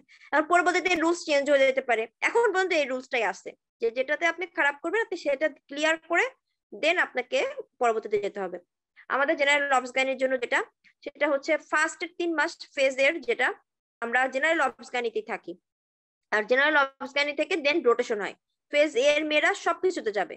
মানে সে জেনারেল সার্জারিতেও যাবে পেডিতেও যাবে অ্যানাস্থেশিয়াতেও যাবে কমিউনিটি মেডিসিনও যাবে ইনফ্যাক্ট ঠিক আছে? এখন এই সবের রোল কি? সেটা যারা এই কারিকুলাম করছে তারাই জানে আসলে। আমাদের বোধগম এখন পর্যন্ত হয়নি যে কেন আমরা এখানে যাব। পড়তে আসতাম অবস গাইনি চলে যাব ফরেন্সিক মেডিসিন কমিউনিটি মেডিসিনে আচ্ছা যাই হোক রুলস তো রুলসই মানতেই হবে। তো সবকিছু ক্লিয়ার করে দেন আপনার ফেজ এটা ক্লিয়ার করতে হবে। এবং প্রতিটা ব্লক শেষ করে আপনাকে একটা করে ব্লক ফাইনাল পরীক্ষা দিতে হবে। এবং ব্লক ফাইনাল ক্লিয়ার করে দেন আপনাকে ওইটা সাবমিট করলে আপনি লগ বুক একটা থাকে আমাদের। লগ বুকটা সাবমিট করার পরে ক্লিয়ার থাকলে আপনাকে ফেজের ফাইনাল পরীক্ষায় বসতে দিতে হবে। এখন এটা তো কোনো মেন এক্সামের ব্যাপারে যেটা, টাকা পয়সার ব্যাপার যেটা বললাম যে একটু টাকা পয়সা ফিনান্সিয়াল কন্ডিশন ভালো থাকলে মোটামুটি রেসিডেন্টরা ভালো মতো একটু চলে আসতে পারে। কারণ একটা, এই যেমন অ্যাজ লাইক আমার কথা যে চিন্তা করতে পারেন, আমি আগে একটা জব করতাম, বেশ হাইফাই স্যালারিতে একটা জব করতাম। মোটামুটি আমার বেশ ভালোই একটা হাই মানে এখনকার আমরা যেটা হাইফাই স্যালারি বলে, সেরকম হাইফাই স্যালারিতে আমি একটা জায়গাতে জব করতাম। এখন আমি এখন আমি রেসিডেন্ট হিসেবে, আমি বাইরে কোথাও প্র্যাকটিস করতে পারছি না জবে কোথাও নাই। তো বিশ হাজার টাকায় আমার আমার সংসার চলবে কীভাবে? এখন আমি যদি চিন্তা করে থাকি, বিশ হাজার টাকা আমি কীভাবে চলবো? এখন আমার ফিনান্সিয়াল কন্ডিশন আলহামদুলিল্লাহ ভালো বা আমার সাপোর্ট ভালো ফ্যামিলি সাপোর্ট ভালো। সবার কিন্তু সেরকম সাপোর্টটা থাকে না। এখন ফ্যামিলি সাপোর্টটা খুব দরকার। এই জন্য বারবার বলছি যে ফ্যামিলি সাপোর্ট যাদের ভালো, তাদের জন্য রেসিডেন্সিটা অনেক ভালো একটা জিনিস। কারণ রেসিডেন্সি একটা পাঁচ বছরের কারিকুলাম কোর্স এফসিপিএস কিন্তু কোনো কারিকুলাম নাই। আপনার এফসিপিএস পার্ট ওয়ান হয়েছে, আপনি ট্রেনিং এখন জয়েন করলেন। আপনার মনে হলো পাঁচ বছর পরে জয়েন করব। করেন, কোনো সমস্যা নেই। আপনি এফসিপিএস পার্ট ওয়ান জয়েন করার পরে তিন মাস ট্রেনিং করে মনে হলো না, আমি এখন ট্রেনিং করব না। করেন না, তাতেও কেউ কোনো কিছুই বলবেন আপনাকে। এখন রেসিডেন্সি এফসিপিএস এর মধ্যে মেন পার্থক্য হচ্ছে ওটাই। এফসিপিএস টা একটা কারিকুলাম জাতীয় কোর্স বাট মানে কারিকুলাম মোটামুটি নাই বাট এমএস একটা পাঁচ বছরের কারিকুলাম আপনাদের থাকে। তো এই জন্য মোটামুটি এই জিনিসটা দুইটাতে একটু বেসিক পার্থক্য এটাই থাকে যে কি, এটাতে পার্থক্য কি, এটার পার্থক্য কি আপু? আর যেটা যেটা ডিপ্লোমার সাথে, আমাদের ডিপ্লোমা তো দুই বছরের। এমএস টা হচ্ছে পাঁচ বছরের ডিপ্লোমা দুই বছর। তো সেক্ষেত্রে ডিপ্লোমা যদি দুই বছরের জন্য যেটা হচ্ছে ডিপ্লোমা যেটা বললাম যে আপনি একদম লাস্ট পর্যন্ত যেতে পারবেন না। তো কিন্তু অধ্যাপক যেটাকে বলতেছে, আমি লাস্ট যেটা, সেই পর্যন্ত যেতে পারছি না বাট মোটামুটি বিশেষজ্ঞ ডাক্তার হিসেবে বেরিয়ে আসতে পারতেছেন ডিপ্লোমা করেও। এখন ডিপ্লোমাটা আমাদের ইন্টার্ন ডাক্তারদের জন্য আমি কখনো সাজেস্ট করি না, কারণ যেটা বললাম, এটা পরবর্তীতে একটা হীনমনতায় যেটা বলা হয় আমাদের প্রেক্ষাপদে ডিগ্রি তো ডিগ্রি কিন্তু আমাদের ডাক্তারদের মধ্যেও আবার সমস্যা থাকে। এটা বড় ডিগ্রি ওটা ছোট ডিগ্রি এটাতে কোনো ভ্যালু নাই, ওটাতে ভ্যালু আছে, এরকম একটা ব্যাপার কাজ করে থাকে। তো সেক্ষেত্রে ডিপ্লোমাটা একদম আমার কিছু হচ্ছে না। অনেক বছর গ্যাপ হয়ে গেছে পাঁচ ছয় বছর হয়ে গেছে, তখন সেক্ষেত্রে আপনি ইজিলি ডিপ্লোমাটা দিতে পারেন। এটা কোনো খারাপ কিছু না, বা যে ডিগ্রি করে যে কোনো কিছু হবে না, এরকম না। ডিপ্লোমাটাও বেশ ভালো জনপ্রিয় ডিগ্রি আমাদের দুই বছরের মধ্যে আপনি বিশেষজ্ঞ ডাক্তার হিসেবে হয়ে যাচ্ছেন। তো এটা আমি আমি মোটামুটি ভালো হিসেবে দেখি, খারাপ হিসেবে দেখি না। দেন আমাদের জন্য যেটা, আর পরবর্তীতে ইনস্টিটিউট চয়েসের যেটা যিনি বললাম, আমাদের এফসিপিএস এর এমএস এর জন্য যেটা এটা সিট থাকে। সিটটা মানে সিটের বাইরে আপনাকে কই নিচ্ছে না। মানে নিবে না কোনো ইনস্টিটিউটে এখন প্রতি বছরই ইনস্টিটিউট বাড়ানো হচ্ছে। যেমন আমার সময়তে দুইটা ইনস্টিটিউট বেশি ছিল কাইনিয়াপস এর জন্য। একটা হচ্ছে সরওয়ার্দী মেডিকেল কলেজে আর একটা হচ্ছে আর্মি মেডিকেল কলেজে এখন আর্মি মেডিকেল কলেজ তো আমাদের জন্য না, ওটা হচ্ছে আর্মিদের জন্যই। এটা আমার, আমরা বাইরের লোকজন, আমরা, আমাদের সময় যেমন একটা কনফিউশন ছিল যে এটাকে আমরাও দিতে পারব কিনা, কিন্তু এটা আমাদের জন্য না, এটা হচ্ছে আর্মিতে যারা, তাদের জন্য এই কোর্সটা মেনলি আর সরওয়ার্দী মেডিকেলের ছিল হচ্ছে একটা সিট মাত্র। এখন পরীক্ষার্থী আপনার হাজার হাজার, একটা সিট তো কোনো ব্যাপারই না আসলে যেটা। সিটটা যেটা সিট ডিস্ট্রিবিউশন যেটা, সেটা প্রতি বছরই একটু উনিশ বিশ হয়, বেশি না উনিশ বিশ, যেমন হালকা পাতা উনিশ বিশ। যেমন বিএসএমএতে অবসগ্যানিতে চারজন ছিল গভর্নমেন্ট ক্যান্ডিডেট চারজন ছিল প্রাইভেট ক্যান্ডিডেট বারডেমের ক্ষেত্রে পাঁচজনই প্রাইভেট ক্যান্ডিডেট বারডেমে এবার মানে গভর্নমেন্ট ক্যান্ডিডেট যেতে পারবে না। এবং যারা গভর্নমেন্ট জব করতে চায়, এখানে একটা ব্যাপার, যারা গভর্নমেন্ট জব সামনে করতে চায় বা আমি গভর্নমেন্ট হিসেবে নিজেকে দিতে চাই, তাদের ক্ষেত্রে বারডেম চয়েসটা দেওয়াটা ঠিক হবে না। বারডেম থেকে মানে ডেকুপেশন পেতে সমস্যা হয় অনেক। তো আমরা বলি, আপনারা যারা মানে যাবেন, পরবর্তীতে মনে হয় যে আমি বিশেষ ক্যাটার হিসেবে যাব, তাদের ক্ষেত্রে বারডেম চয়েসটা না দেওয়াটা সব থেকে ভালো। এইরকম ডিএমসি তেও পাঁচটা করে থাকে আইএমসি তে যেটা মাতোয়ালি যেটা, সেটাতেও পাঁচটা থাকে। এরকম করে গভর্নমেন্ট প্রাইভেট হিসেবে মোটামুটি সি প্ল্যান হিসেবে আপনি যদি এমএস এর লাস্ট পর্যায়ে এটা তো এখন ফার্স্টেও এরকম হয় না। মানে ফার্স্টে আগে পড়তে হবে, নিজের সবকিছু প্রস্তুতি ভালো দেন সিট কয়টা কি আসছে সেটা হচ্ছে দেখতে হবে। তারপরে যেটা হচ্ছে যে সিটের সিটের যেটা বললাম, আবার কিছু সাব স্পেশালিস্টের সাবজেক্ট আছে। এখন বর্তমানে সাব স্পেশালিস্ট সাবজেক্টটাও খুব ভালো এমএস এর জন্য। আমাদের গাইনি অফিসের সাব স্পেশালিস্ট চার, তিনটা সাবজেক্ট আছে। ফিটোম্যাটার্নাল মেডিসিন ইনফার্টিলিটি এন্ডোক্রাইন আর হচ্ছে অঙ্ক গাইনোকোলজিক্যাল অঙ্কোলজি যেটা। এখানে বিএসএমএম তেই চারটা সিট ফিটোম্যাটার্নাল মেডিসিন আর কোথাও সিট নাই বিএসএমএম তেই আছে শুধু। আশা করা যাচ্ছে চব্বিশে মনে হয় ডিএমসি তে খুলতে পারে। এখন শিওর না বাট খুলতে পারে, আশা করা যাচ্ছে।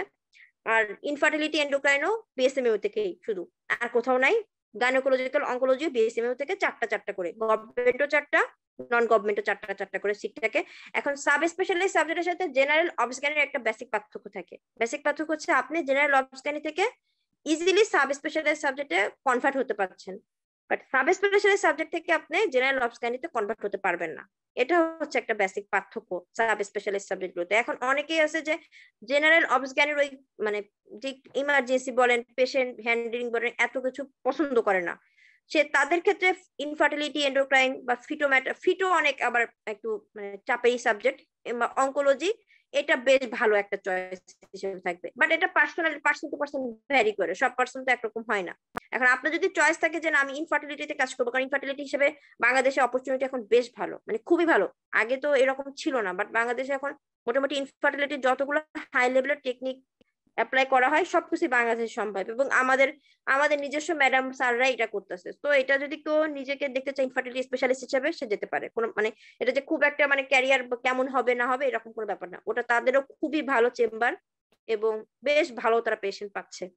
আর যেটা বললাম অপস এমএস পরে এফসিপিএস এ কনভার্ট যেটা ব্যাপারটা, সেটা হচ্ছে আপনি এমএস পাঁচ বছর কমপ্লিট করার পরে যদি আলহামদুলিল্লাহ করে ফেলেন, দুই বছর ট্রেনিং করবেন যে কোনো জায়গাতে যে কোনো মেডিকেল আপনার যেটা সুবিধাজনক হয়।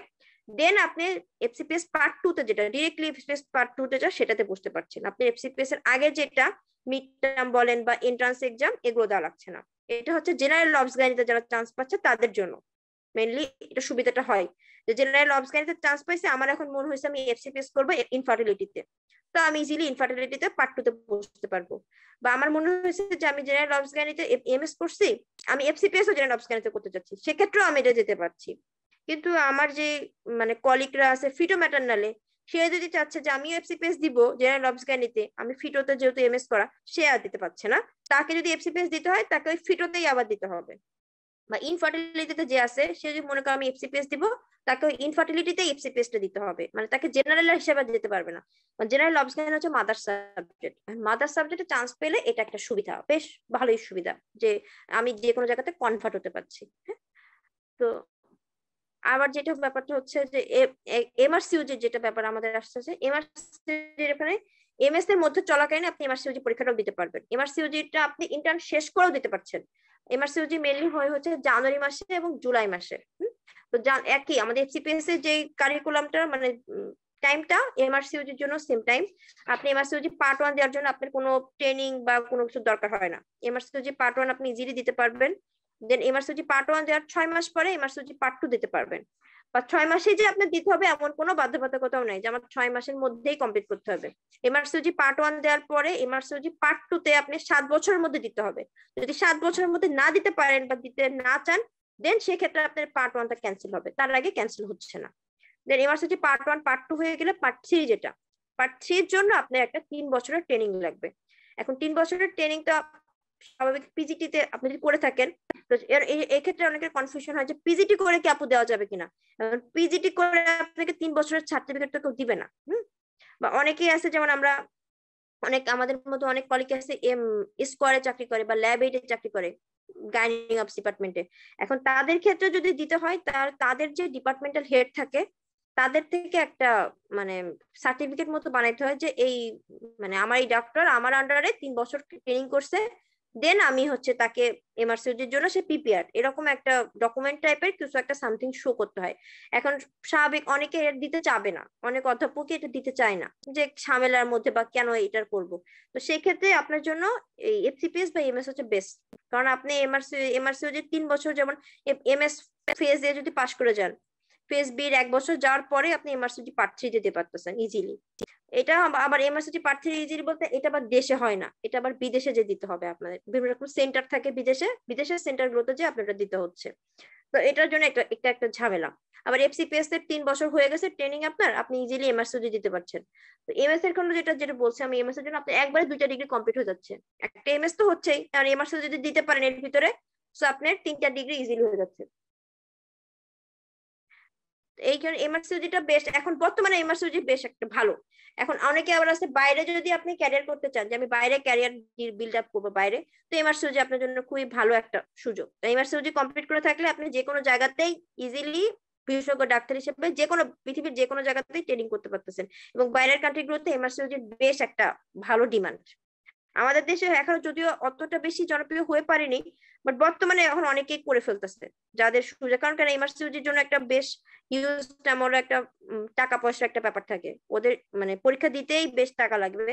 সো একবার পরীক্ষা দিলে যদি না হয় বা যদি চান্স না পান তো সেক্ষেত্রে সত্তর থেকে পঁচাত্তর হাজার টাকা পুরোই মার।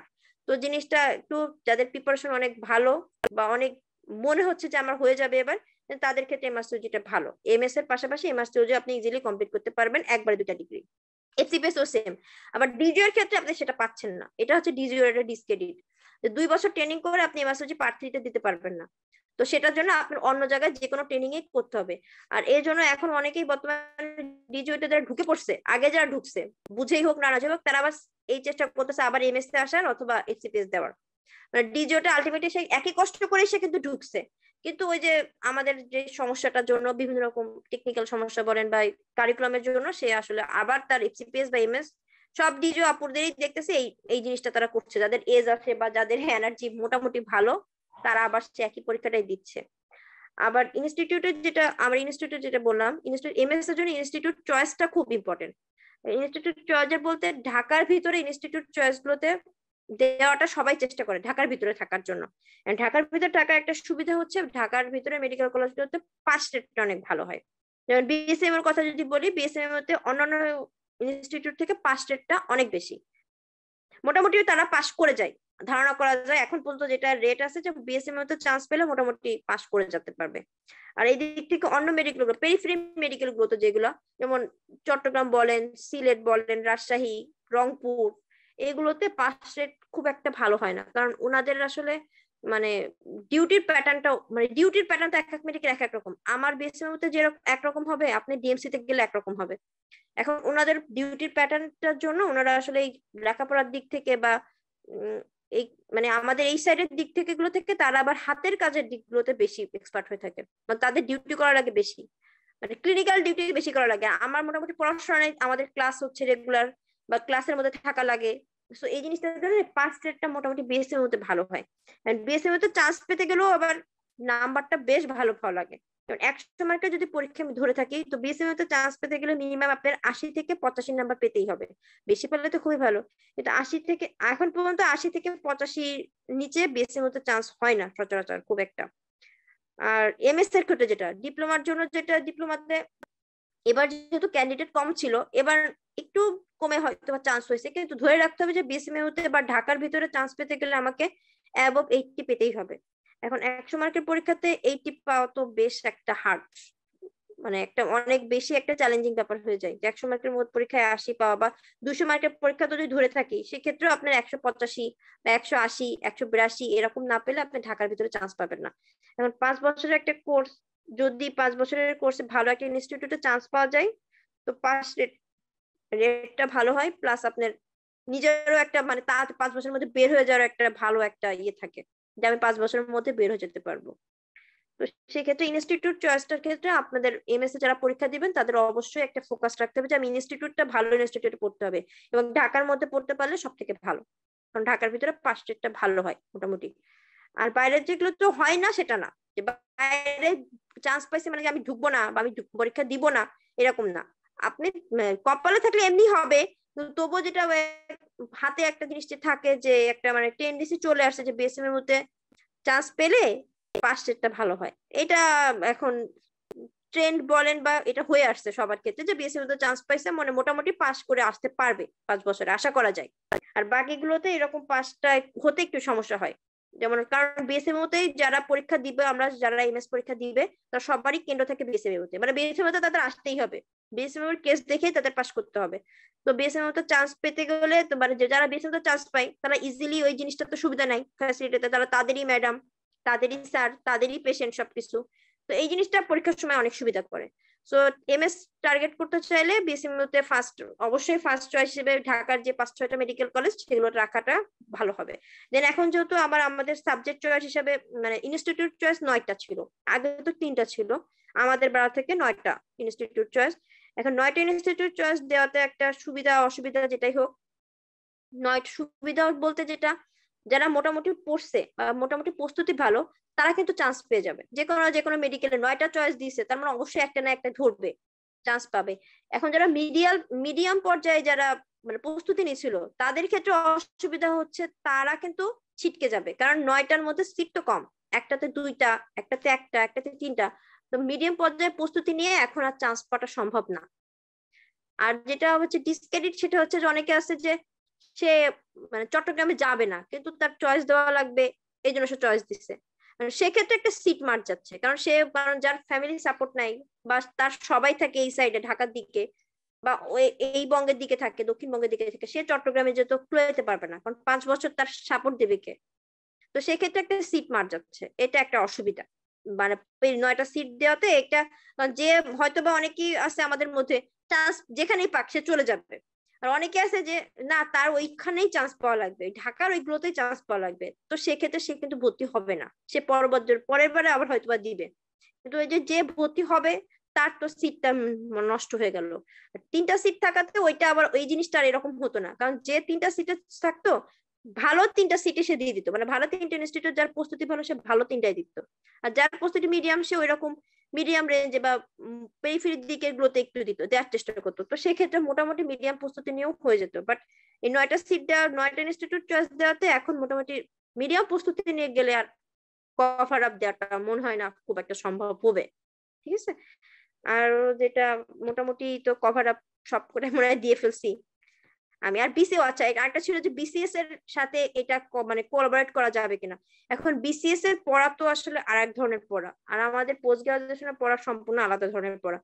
এখন কারও যদি ফোকাস থাকে যে হ্যাঁ আমি বিসিএস ক্যাডার হব আপু দেন তারপর পোস্ট গ্রাজুয়েশন দিব, সেটাও সে দিতে পারে। কারণ বিসিএস আর পোস্ট গ্রাজুয়েশনের পড়া একসাথে পড়াটা খুব টাফ এখন কেউ যদি মাথায় চাপ নিতে পারে বা চাপ নিয়ে পড়তে পারে, সেক্ষেত্রে তো খুবই ভালো মোস্ট ওয়েলকাম কিন্তু একসাথে যদি পড়তে চাই তো আলটিমেটলি দুইটা জিনিস তো লস করে লাভ নেই।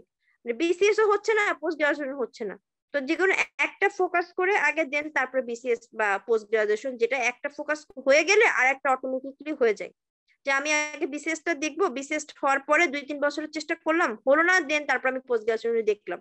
এটা একটা অপশন আবার অনেক যে আমি আপু বিসিএস দেবই না, আমি পোস্ট গ্রাজুয়েশনই চেষ্টা করতে চাই। তো সেক্ষেত্রে অবশ্যই ইজিলি তাকে খুব দ্রুত গতিতে, এই এই ক্যাটাগরি যারা তারা খুব দ্রুত গতিতে পোস্ট গ্রাজুয়েশন ঢুকে যাবে বা ঢুকে যাওয়া উচিত তাদের জন্য। আর বিসিএস কারণ পোস্ট গ্রাজুয়েশন ঢোকার পরে আমি বিসিএস দিতে চাই আপু, সেই অপশনটা খুবই কম। কারণ পোস্ট গ্রাজুয়েশনের পড়াশোনা বিসিএস এর পড়াশোনা করার মতো সুযোগ বা এনার্জি বা মানে পরিবেশ তার থাকবে না। কারণ তার ডিউটির প্যাটার্নটাই ওরকম হবে। অনেক বেশি ডিউটির প্যাটার্ন পেশেন্ট চাপ বেশি, ওখানকার ডোস্টার ডিউটি করা লাগবে মানে বেশ একটা হেফাজত হয়ে যাবে। এখন হবে না বললে এখন সবকিছুই হয়, আবার হবে না। কেউ যদি পারে তাহলে তো খুবই ভালো মোস্ট ওয়েলকাম কিন্তু কেউ যদি না পারে তো সেক্ষেত্রে তো একটা সমস্যা। কিন্তু বিসিএসটা একবার হয়ে গেলে পোস্ট গ্রাজুয়েশন তার জন্য সুবিধা হয়ে যায়। কারণ বিসিএস যারা তাদের জন্য নাম্বার ভ্যারিয়েশন থাকে একটু। মানে আমরা যারা নন গভর্নমেন্ট হিসেবে ঢুকছি, তাদের নাম্বার আর বিসিএস ক্যাডার সাথে ঢুকছে তাদের নাম্বারে একটু পার্থক্য আছে মানে তাদের আবার এক ধরনের কোটা থাক মানে নাম্বারের ভ্যারিয়েশন আমার এক ধরনের নাম্বার ভ্যারিয়েশন মানে আমি নন গভর্নমেন্ট হিসেবে নন গভর্নমেন্টের সাথেই প্রতিযোগিতা করব। তারা গভর্নমেন্ট হিসেবে গভর্নমেন্টের সাথে প্রতিযোগিতা করবে। তার সাথে আমার প্রতিযোগিতা হবে না। ব্যাপারটা হচ্ছে এরকম।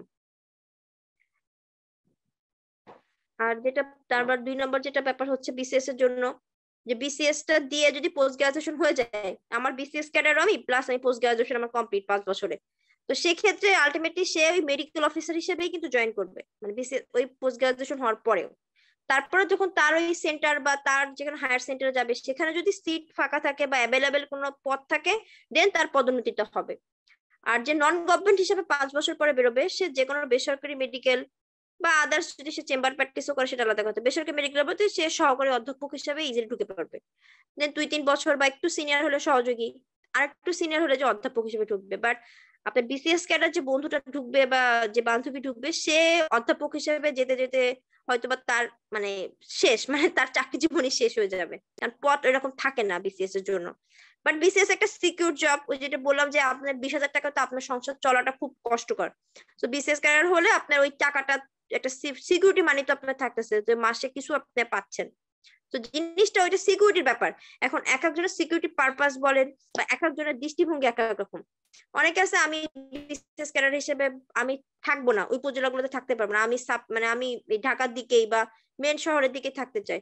তো সেক্ষেত্রে বিশেষ তো তার জন্য তো ওই রকম মানে ফলপ্রসূ হবে না। কারণ তাকে যেতেই হবে, বিশেষ হলে তাকে যে কোনো উপজেলাতে পোস্টিং হিসেবে যেতেই হচ্ছে।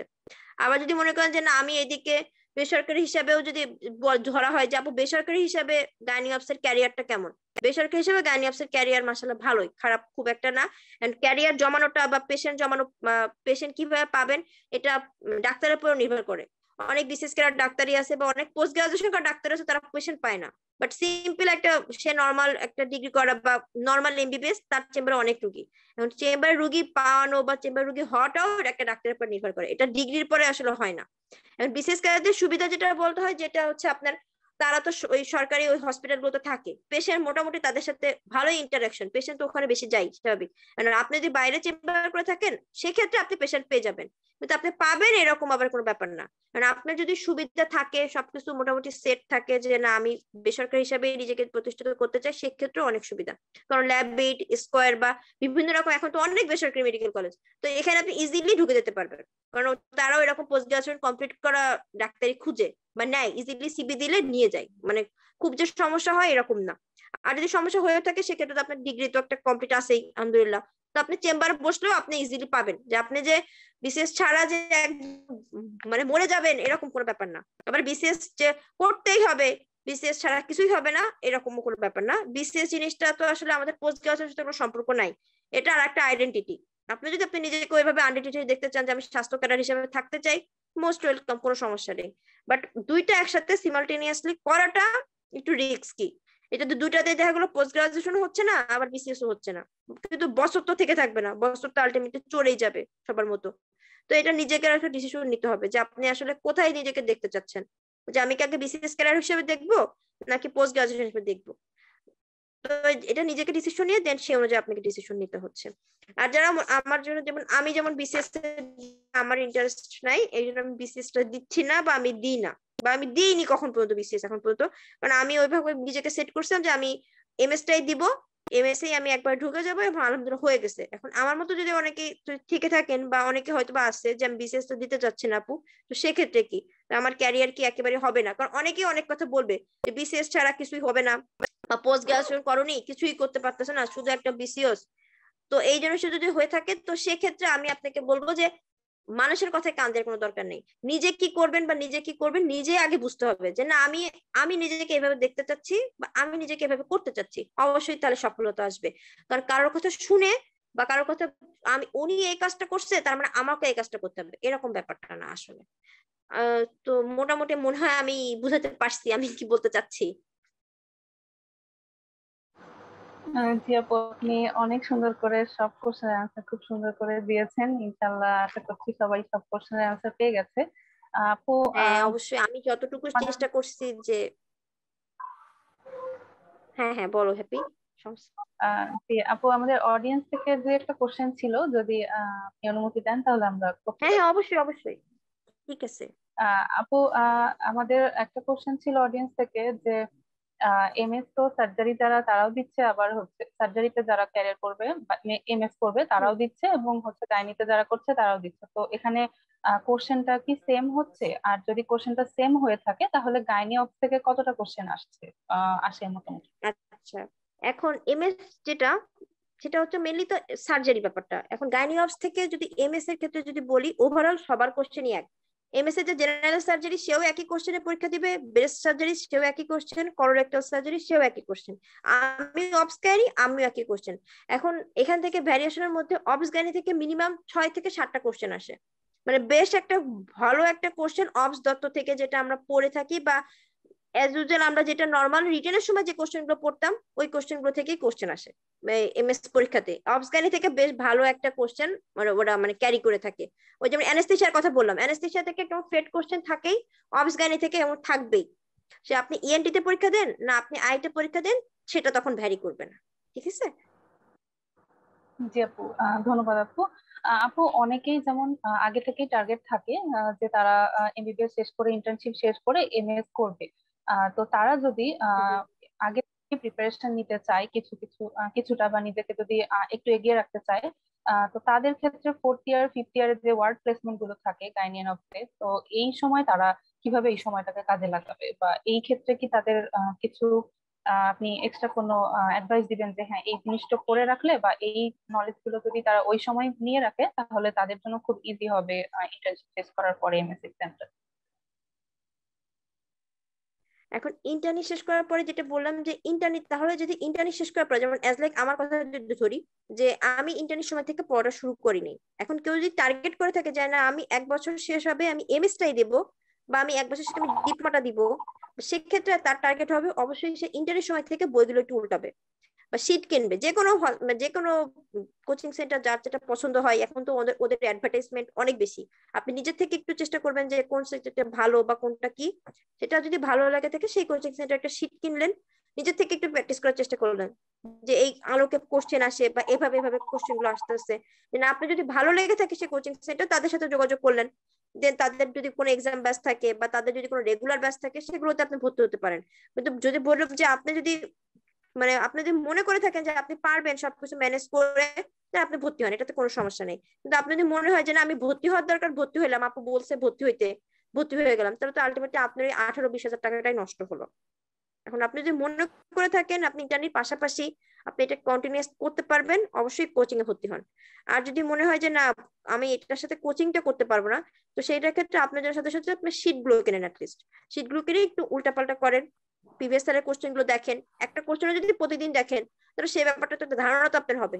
প্রতিদিন যদি একটা কোশ্চেন সাতটা কোশ্চেন সাতটা কোশ্চেন নিশ্চয়ই সাতটা টপিক থেকে আসবে।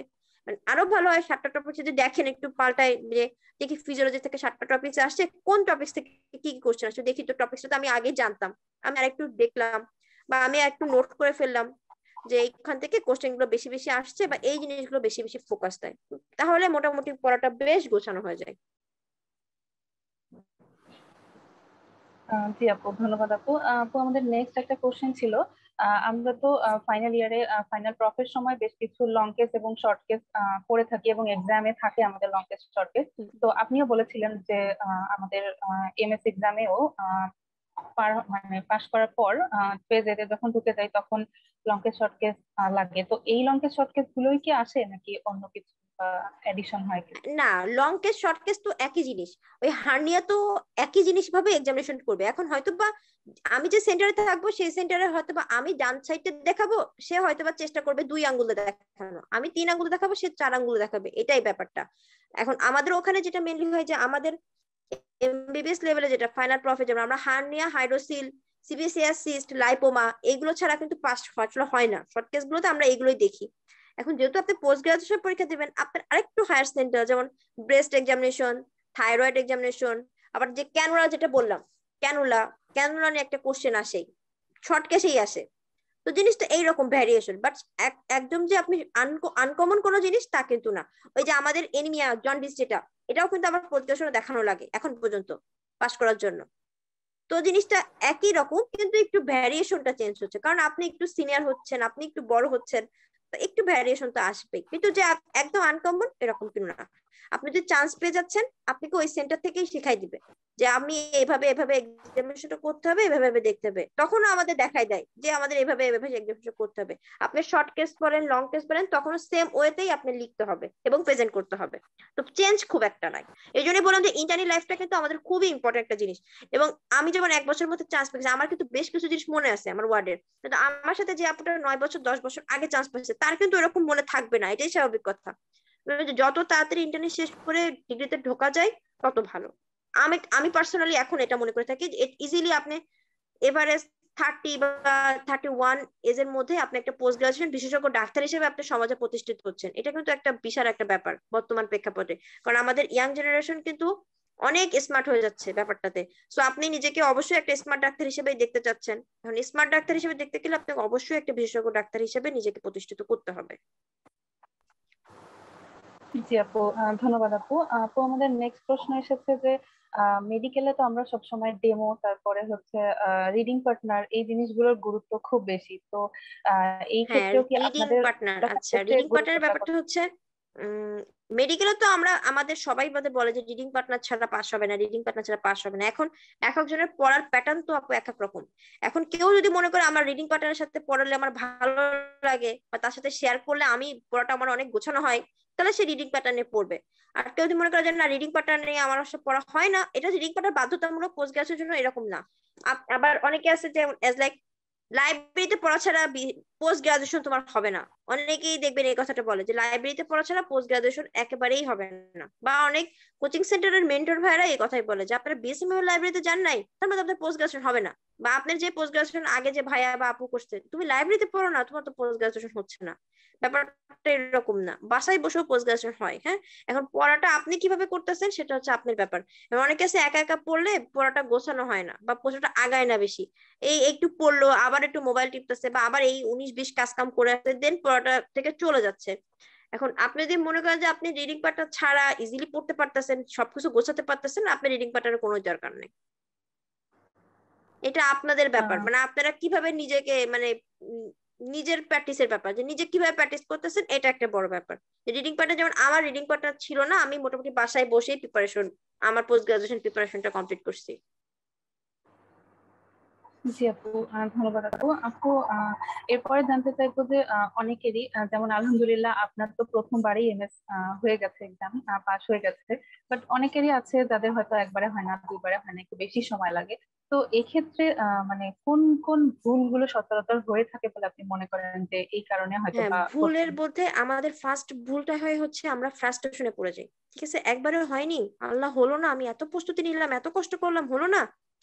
পরের বার সে খুব ঢিলামি দিয়ে ফেলে হ্যাঁ? এই ঢিলামিটা দেওয়া যাবে না। আর দুই নম্বর কথা হচ্ছে যে, সবকিছু পড়া যাবে না। এখন আমি যদি ভাবি আমি সবকিছু পড়ে আমি পোস্ট গ্রাজুয়েট পরীক্ষা বসতে যাব, সেক্ষেত্রে হবে না। আমার পড়াটা একটু টেকনিক্যাল হইতে একটু ছোট করে আনতে হবে যে, কোন জিনিসটা না পড়লে আমার সমস্যা, কোন জিনিসটা পড়লে আমার মোটামুটি না পড়লে আমি টিকে আসতে পারব। এই জিনিসটা নিজেকে আগে ফাইন্ড আউট করতে হবে যে, জিনিসগুলো কোনটা ইম্পর্টেন্ট কোনটা ইম্পর্টেন্ট আমি যদি ইম্পর্টেন্ট জিনিস বাদ দিয়ে আনইম্পর্টেন্ট জিনিস যেটা আমার মুখস্থ হচ্ছে না, সেটার পিছনে পড়ে আছে দুই দিন ধরে এই জিনিসটাতে একটু সমস্যা। আর মেন কথা ফ্রাস্ট্রেশন হওয়া যাবে না। একবারে হয়নি হয়নি, পরের বার চেষ্টা করতে হবে। এন্ড পরের বার যদি আমি চেষ্টা করলাম যে পরের বার তো পড়ছিলাম, এক মাস আগে পরীক্ষার আগে পড়া শুরু করলাম, সেক্ষেত্রে একটু, একটা প্রবলেম হয়ে যায়। কারণ এই পড়াটা তো আসলে এক মাস না। আপনি একদিন পরে পরের দিন জিজ্ঞাসা করলে আপনি কিছু পারবেন না। ভুলে যাবেন সবকিছু, এত বেশি পড়া। সেক্ষেত্রে যে প্রতিদিন রেগুলার একটা হৃদয়ে রেখে পড়াটা করা যায় মোটামুটি পড়াটাও গোছানো হয় এবং বেশ একটা টাইমও থাকে। যদি কোনো উনিশ বিশ পড়াশোনা তো হয়েও থাকে, কারণ একটা লং টাইমে পড়া। ফ্যামিলি সমস্যা, আপনার সমস্যা, আশেপাশে অনেক সমস্যা হইতে পারে। তো আপনার যদি পড়াটা গোছানো থাকে, তাহলে ওই ওই মানে ওই টাইমটাতে অত বেশি হতাশা লাগবে না। জানলাম আমার তো কিছুই পড়া হয়নি। আমার ফ্যামিলির এই সমস্যা, আমি এখন পড়াশোনা করব না ফ্যামিলি দেখব? তো যদি আগে থেকে একটু গোছাই পড়ানো থাকে, তাহলে সেক্ষেত্রে এই ধরনের সমস্যাটা ইনশাল্লাহ হওয়ার কথা না। জি আপু ধন্যবাদ আপু। আপু, এবার কোশ্চেন করব মানে আপনাকেই যে আপনি তো গাইনে নাম চুজ করেছেন তো আপনি কেন চুজ করেছিলেন এই সাবজেক্টটাকে আমি কেন চুজ করছি? ওই যে আমি যেটা বললাম যে আমি আসলে আমার, আমি যে আগে গাইনি অফিসে যাব, আমার এরকম কোনো প্ল্যান ছিল না। কারণ গাইনি অফিস অনেক মানে ইমার্জেন্সি একটা সাবজেক্ট সবসময় একটা দৌড়াদৌড়ির পরে থাকা লাগে। অনেক প্রেশার একটা থাকা লাগে। আমি আসলে ইন্টারনেটে যাওয়ার পরে আমার আসলে গাইনি অফিসের প্রতি একটা আলাদা একটা সফট কর্নার বলেন বা যেটা আমার ভালো লাগছে। যে ইন্টারনেটে যে আমার মোটামুটি গাইনি অফিসের প্রতি একটা সফট কর্নারই কাজ করছে। তো দ্যাটস ওয়াই আমি আসলে গাইনি অপসটা আমার, ওই সময় থেকে আমার টার্গেট ছিল যে না, আমি তাহলে গাইনি অপসের দিকে। এবং তাতে বড় কথা যে আমার আসলে ওটি করতে বা ওটির প্রতি একটা ফ্যাসিনেশন কাজ করতো। ওটি করতে ভালো লাগতো ওটিতে থাকতে ভালো লাগতো।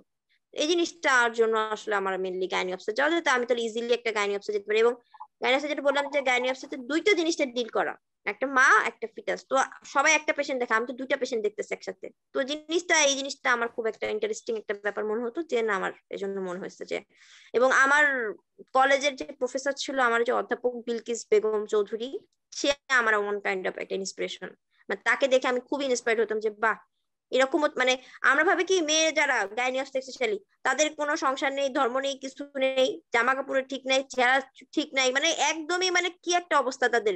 আসলেও তাদের এরকম অবস্থা থাকে বাইরে যারা। কিন্তু আমার ওই যে মিন, ম্যাডাম, আমার যা, আমি যাকে খুবই পছন্দ করি এবং আমার ওনার ইন্সপিরেশন সে একদমই টিপটপ পরিপাটি হয়ে থাকতো। তো জিনিসটা আমার খুবই ভালো লাগতো যে তা আসলে তো যা সম্পর্কে যা ধারণা করা হয়, সবাই বলে, ব্যাপারটা তো ওই রকম না। এটাও আসলে নিজে কীভাবে প্রেজেন্ট হবেন বা নিজে কীভাবে নিজেকে দেখাবেন, এটা আপনার আসলে ব্যাপার। ইমার্জেন্সি তো সবসময় থাকবে। সব সাবজেক্টে কম বেশি ইমার্জেন্সি মেডিকেল মানে ইমার্জেন্সি পেশেন্ট মানে ইমার্জেন্সি তো এটা আপনি ডিল করবেন কীভাবে? ইমার্জেন্সি পেশেন্ট আসলে কি আপনি মানে কি করবেন, কীভাবে নিজেকে প্র্যাকটিস করবেন, সবার সাথে প্রেজেন্ট করবেন, ওটা আপনার আসলে ব্যক্তিগত ব্যাপার। জি আপু, ধন্যবাদ আপু। আপু আমাদের এই যে গাইনিয়ান অফিসের জব ফ্যাসিলিটিসটা আসলে কেমন ফিউচারে ইন ফিউচারে পাস রেটটা আপু জব ফ্যাসিলিটি আচ্ছা জব জব ফ্যাসিলিটি তো মাশাআল্লাহ এখন যদি বেশ সরকারিতে তো আলাদা ব্যাপার সরকারির জন্য প্র্যাকটিস অনেক ভালো। বেসরকারির জন্য বলতে থাকি যে প্রতিটা হসপিটাল বা ক্লিনিক এই গাইনি অফিসের পরেই মেনলি চলে হ্যাঁ? তো গাইনি অফিসার সবাই চাই যে গাইনি অফিসার একজন বেসরকারি ডাক্তার তার হসপিটালে বসুক বা তাদের ক্লিনিকে বসুক। তো আলহামদুলিল্লাহ এখন পর্যন্ত আমি শুনি না এখন পর্যন্ত কারও জব ফ্যাসিলিটিতে সমস্যা। এখন যদি আপনার যদি আপনার পার্সোনাল লাইফের সমস্যার জন্য প্র্যাকটিস করতে না পারেন, সেটা হচ্ছে আপনার সমস্যা। সেটা আসলে ক্লিনিক বা হসপিটালের সমস্যা না। এখন আপনি যদি ব্যাড প্র্যাকটিস করতেছেন বা রাফ প্র্যাকটিস করতেছেন এই জন্য আপনার ফ্যামিলি লাইফের সমস্যা, এটার জন্য আপনি প্র্যাকটিসের সমস্যা করতেছেন, এটা আপনার যেটা আপনাকে ম্যানেজ করতে হবে। যে আমি আসলে কীভাবে প্র্যাকটিস করব? আমি কি খুব রাফ প্র্যাকটিস করব? না, আমি খুবই স্মুথ প্র্যাকটিস করব। আপনি রাফ প্র্যাকটিসও করতে, আপনার পেশেন্ট অভাব হবে না। আবার আপনি স্মুথ প্র্যাকটিস করলেও পেশেন্ট অভাব হবে না। যে আপনি আপনার পেশেন্টই দেখবেন, একটা নির্দিষ্ট টাইম দেখবেন ওটি থাকলে ওটি করবেন, ব্যাস, তারপর বাসায় যে ফ্যামিলি লাইফ লিড করবেন। আবার আপনি সবসময় যদি চান যে, না, আমি যখনই আমাকে ডাকবে, আমি তখন ইমার্জেন্সি ভাবে যাব এটা আপনার আপনার ব্যাপার, যদি আপনি সবকিছু ম্যানেজ করতে পারেন। বাট জব ফ্যাসিলিটি আলহামদুলিল্লাহ গাইনি অপস অনেক ভালো। সব জায়গাতেই, বাংলাদেশের সব জায়গাতে জব ফ্যাসিলিটি গাইনি অপসে এখন পর্যন্ত অনেক ভালো। জি আপু, ধন্যবাদ আপু। আপু, আমরা আমাদের কোশ্চেনের শেষ পর্যায়ে চলে এসেছি। শেষ প্রশ্নই করব যে আপনি তো এমএস নামের এই কঠিন যুদ্ধে লড়াই করে সফলতা পেয়ে গেছেন। তো যারা নেক্সটে এই পরীক্ষা দিবে, তাদের উদ্দেশ্যে আপনি শেষে, সবশেষে কি টিপস দিতে চান এবং কীভাবে মোটিভেট করতে চান? টিপস বলতে আসলে আপু, যারা সামনে ইন্টার্ন ডাক্তার অবশ্যই যারা এমএস হিসেবে নিজেকে দেখতে চাই, বিশেষজ্ঞ, ডাক্তার হিসেবে নিজে দেখতে চাই, অবশ্যই আমি তাদেরকে টিপস দেবো যে তারা ইন্টারনি লাইফে থেকে অল্প অল্প করে হলেও পড়াটা শুরু করুক বা পড়াটা বুঝুক। মানে ডিগ্রিটা সম্পর্কে জানুক যে ডিগ্রিটা কি, ডিগ্রিটা করে আমি কি কি ফ্যাসিলিটি পাবো, ডিগ্রিটা কত বছরের, ডিগ্রিটা করে আমি আমার বেনিফিট কি, আমার অ্যাডভান্টেজ ডিসঅ্যাডভান্টেজ সবকিছু নিজে আগে জানো নিজে জেনে দেন তারপরে তাকে আগানো উচিত সামনে যে আমি এটা করে তাহলে আমি এই ফ্যাসিলিটি গুলো পাবো। প্লাস সব ইন্টারনেট জন্য কথা হচ্ছে ইন্টারনেট লাইফটাকে মানে এই পড়াশোনার চক্কর হিসেব করে ইন্টারনেট লাইফটাকে মানে বেশি প্যারাময় করা যাবে না। কারণ ইন্টারনেট এই এক বছরটা তো আর ফিরে আসবে না। এটাই লাস্ট বছর। মজাও করবে, সব কিছুই করবে। আমি যেটা সেশনের প্রথমে বললাম যে, কিছু হাতের কাজ যেগুলো, সেগুলো মাস্ট শিখে তারপরে বের হওয়া উচিত। প্রতিটা ইন্টারনেট ডাক্তারই বের হওয়া উচিত। আর গায়নি অফিসে যাদের, তাদের গাইনি অফিসে যে basic management labour table management যেটাকে বলি আমরা। লেবার টেবিল ম্যানেজমেন্টটা যদি শিখে বের হয়, দেখবেন বের হওয়ার পরেও দেখবে ইজিলি কনফিডেন্স সহকারে যে কোনো পেশেন্টই ডিল করতে পারতেছে। এটা কিন্তু একটা বড় একটা প্লাস পয়েন্ট যদি পোস্ট গ্রাজুয়েশন নাও হয়ে থাকে, ধরেন প্রথম বছর হলো না সে তো আর বসে থাকবে না, সে কোথাও না কোথাও তার জয়েন করতে হবে। তো যেখানে সে জয়েন করুক, সে যদি তার এই গুণগুলো বা এই প্রতিভাটা দেখাতে পারে, সেখানকার ক্লিনিক বলেন হসপিটাল বলেন ডায়াগনস্টিক বলেন, সেক্ষেত্রে তার ডিমান্ডও বেড়ে যাবে। যে না ম্যাডাম তো পারে সবকিছু। মোটামুটি ম্যাডামের পরে কনফিডেন্স রাখা যায়। তো নিজের প্রতি কনফিডেন্স রেখে যদি কাজগুলো শিখে যায়, খুবই ভালো। আর আস্তে আস্তে যেটা বললাম যে পোস্ট গ্রাজুয়েশনের পড়াটা, যেহেতু আমার আমাদের আজকে ফোকাস হচ্ছে এমএস নিয়ে। তো এমএস হচ্ছে এক বছরের একটা গ্যাপ থাকা লাগবে ইন্টারনেট পরে। তো এক বছরের গ্যাপটা কিন্তু বেশ একটা গ্যাপ। তো এই এক বছর আসতে ধীরে আপনি কিন্তু ইজিলি প্রস্তুতিটা নিয়ে আলহামদুলিল্লাহ করে নভেম্বরে বসতে পারেন। যদি কেউ চাই যে আমি ঠিকঠাক মতো প্রস্তুতি নিই, এখন আমার মতো যেটা বললাম যে আমি দুই মাস আগে প্রস্তুতি নিব, নভেম্বরে বসবো, সেক্ষেত্রে তো একটু সমস্যা হয়ে যাবে হ্যাঁ? এখন দুই মাসের প্রস্তুতি নেওয়ার জন্য চিন্তা ভাবনা করেন না, আপু কথা বলছে, আপু বলছে, তাই আমিও করব, এরকম ব্যাপারটা না। কিন্তু নিজের থেকে একটু যদি নভেম্বর, ডিসেম্বর, নভেম্বরের পরীক্ষা টার্গেট রেখে যদি জানুয়ারি থেকে পড়া যায় ইজিলি এমএসটা হওয়া সম্ভব। একবারেই সম্ভব। জি আপু আপনাকে অনেক অনেক অনেক বেশি ধন্যবাদ। আপনি এতক্ষণ সময় দিয়েছেন আমাদের এবং এত সুন্দর করে সবকিছু বুঝিয়ে বলেছেন। তোমাদের অসংখ্য ধন্যবাদ। এক্সিস মেডিকেল একাডেমিকে অসংখ্য ধন্যবাদ আমাকে এরকম একটা সেশনে ইনভাইট করার জন্য। জি আপু ইনশাল্লাহ আমরা আশা করব আপনার কাছ থেকে আরও নেক্সট এরকম কোন সেশন উপহার পাওয়ার। হ্যাঁ ইনশাল্লাহ আমরাও আমিও আশা করব যে সামনে কোন নেক্সট সেশনে আবার দেখা হবে। ইনশাল্লাহ আপু। আপু, আপনি অনুমতি দিলে আমরা আজকে সেশন এখানে শেষ করতে পারি। হ্যাঁ অবশ্যই। ঠিক আছে, সবাইকে অসংখ্য ধন্যবাদ। যারা এতক্ষণ আমার সাথে ছিলেন বা শুনবেন পরবর্তীতে লাইফটা কারও যদি কোনো রকম হেল্প বা কোনো উপকারে আসে এই লাইফটাতে আমার নিজের অনেক ভালো লাগবে, কারণ গাইনি অফিসে আমাদের মেয়েদের ক্যারিয়ার অনেক, আসলেই অনেক ভালো এবং আপনারা যদি চান কেউ ইজিলি ইজিলি ম্যানেজ করে ফ্যামিলি লাইফ ম্যানেজ করে আপনার জব লাইফ ম্যানেজ করে ভালো মতো একটা ক্যারিয়ার নিজেকে সেট করতে পারেন। কারণ সব কটা সব মেয়েরই নিজেকে আসলে শক্ত করা দরকার ইন্ডিপেন্ডেন্ট হওয়ার দরকার। তো তার জন্য পোস্ট গ্রাজুয়েশন বলে খুবই ভালো একটা সুযোগ এবং আমি চাই সবাই আসলে পোস্ট গ্রাজুয়েশনে আসুক এবং খুব তাড়াতাড়ি চলে আসুক। পাঁচ ছয় বছরের গ্যাপে না আসে আমরা খুব ইজিলি পোস্ট গ্রাজুয়েশনে ঢুকে যেতে পারি যেন। ঠিক আছে হ্যাপি তোমাকে অনেক ধন্যবাদ এবং তোমার আগামী লাইফের জন্য অনেক শুভকামনা।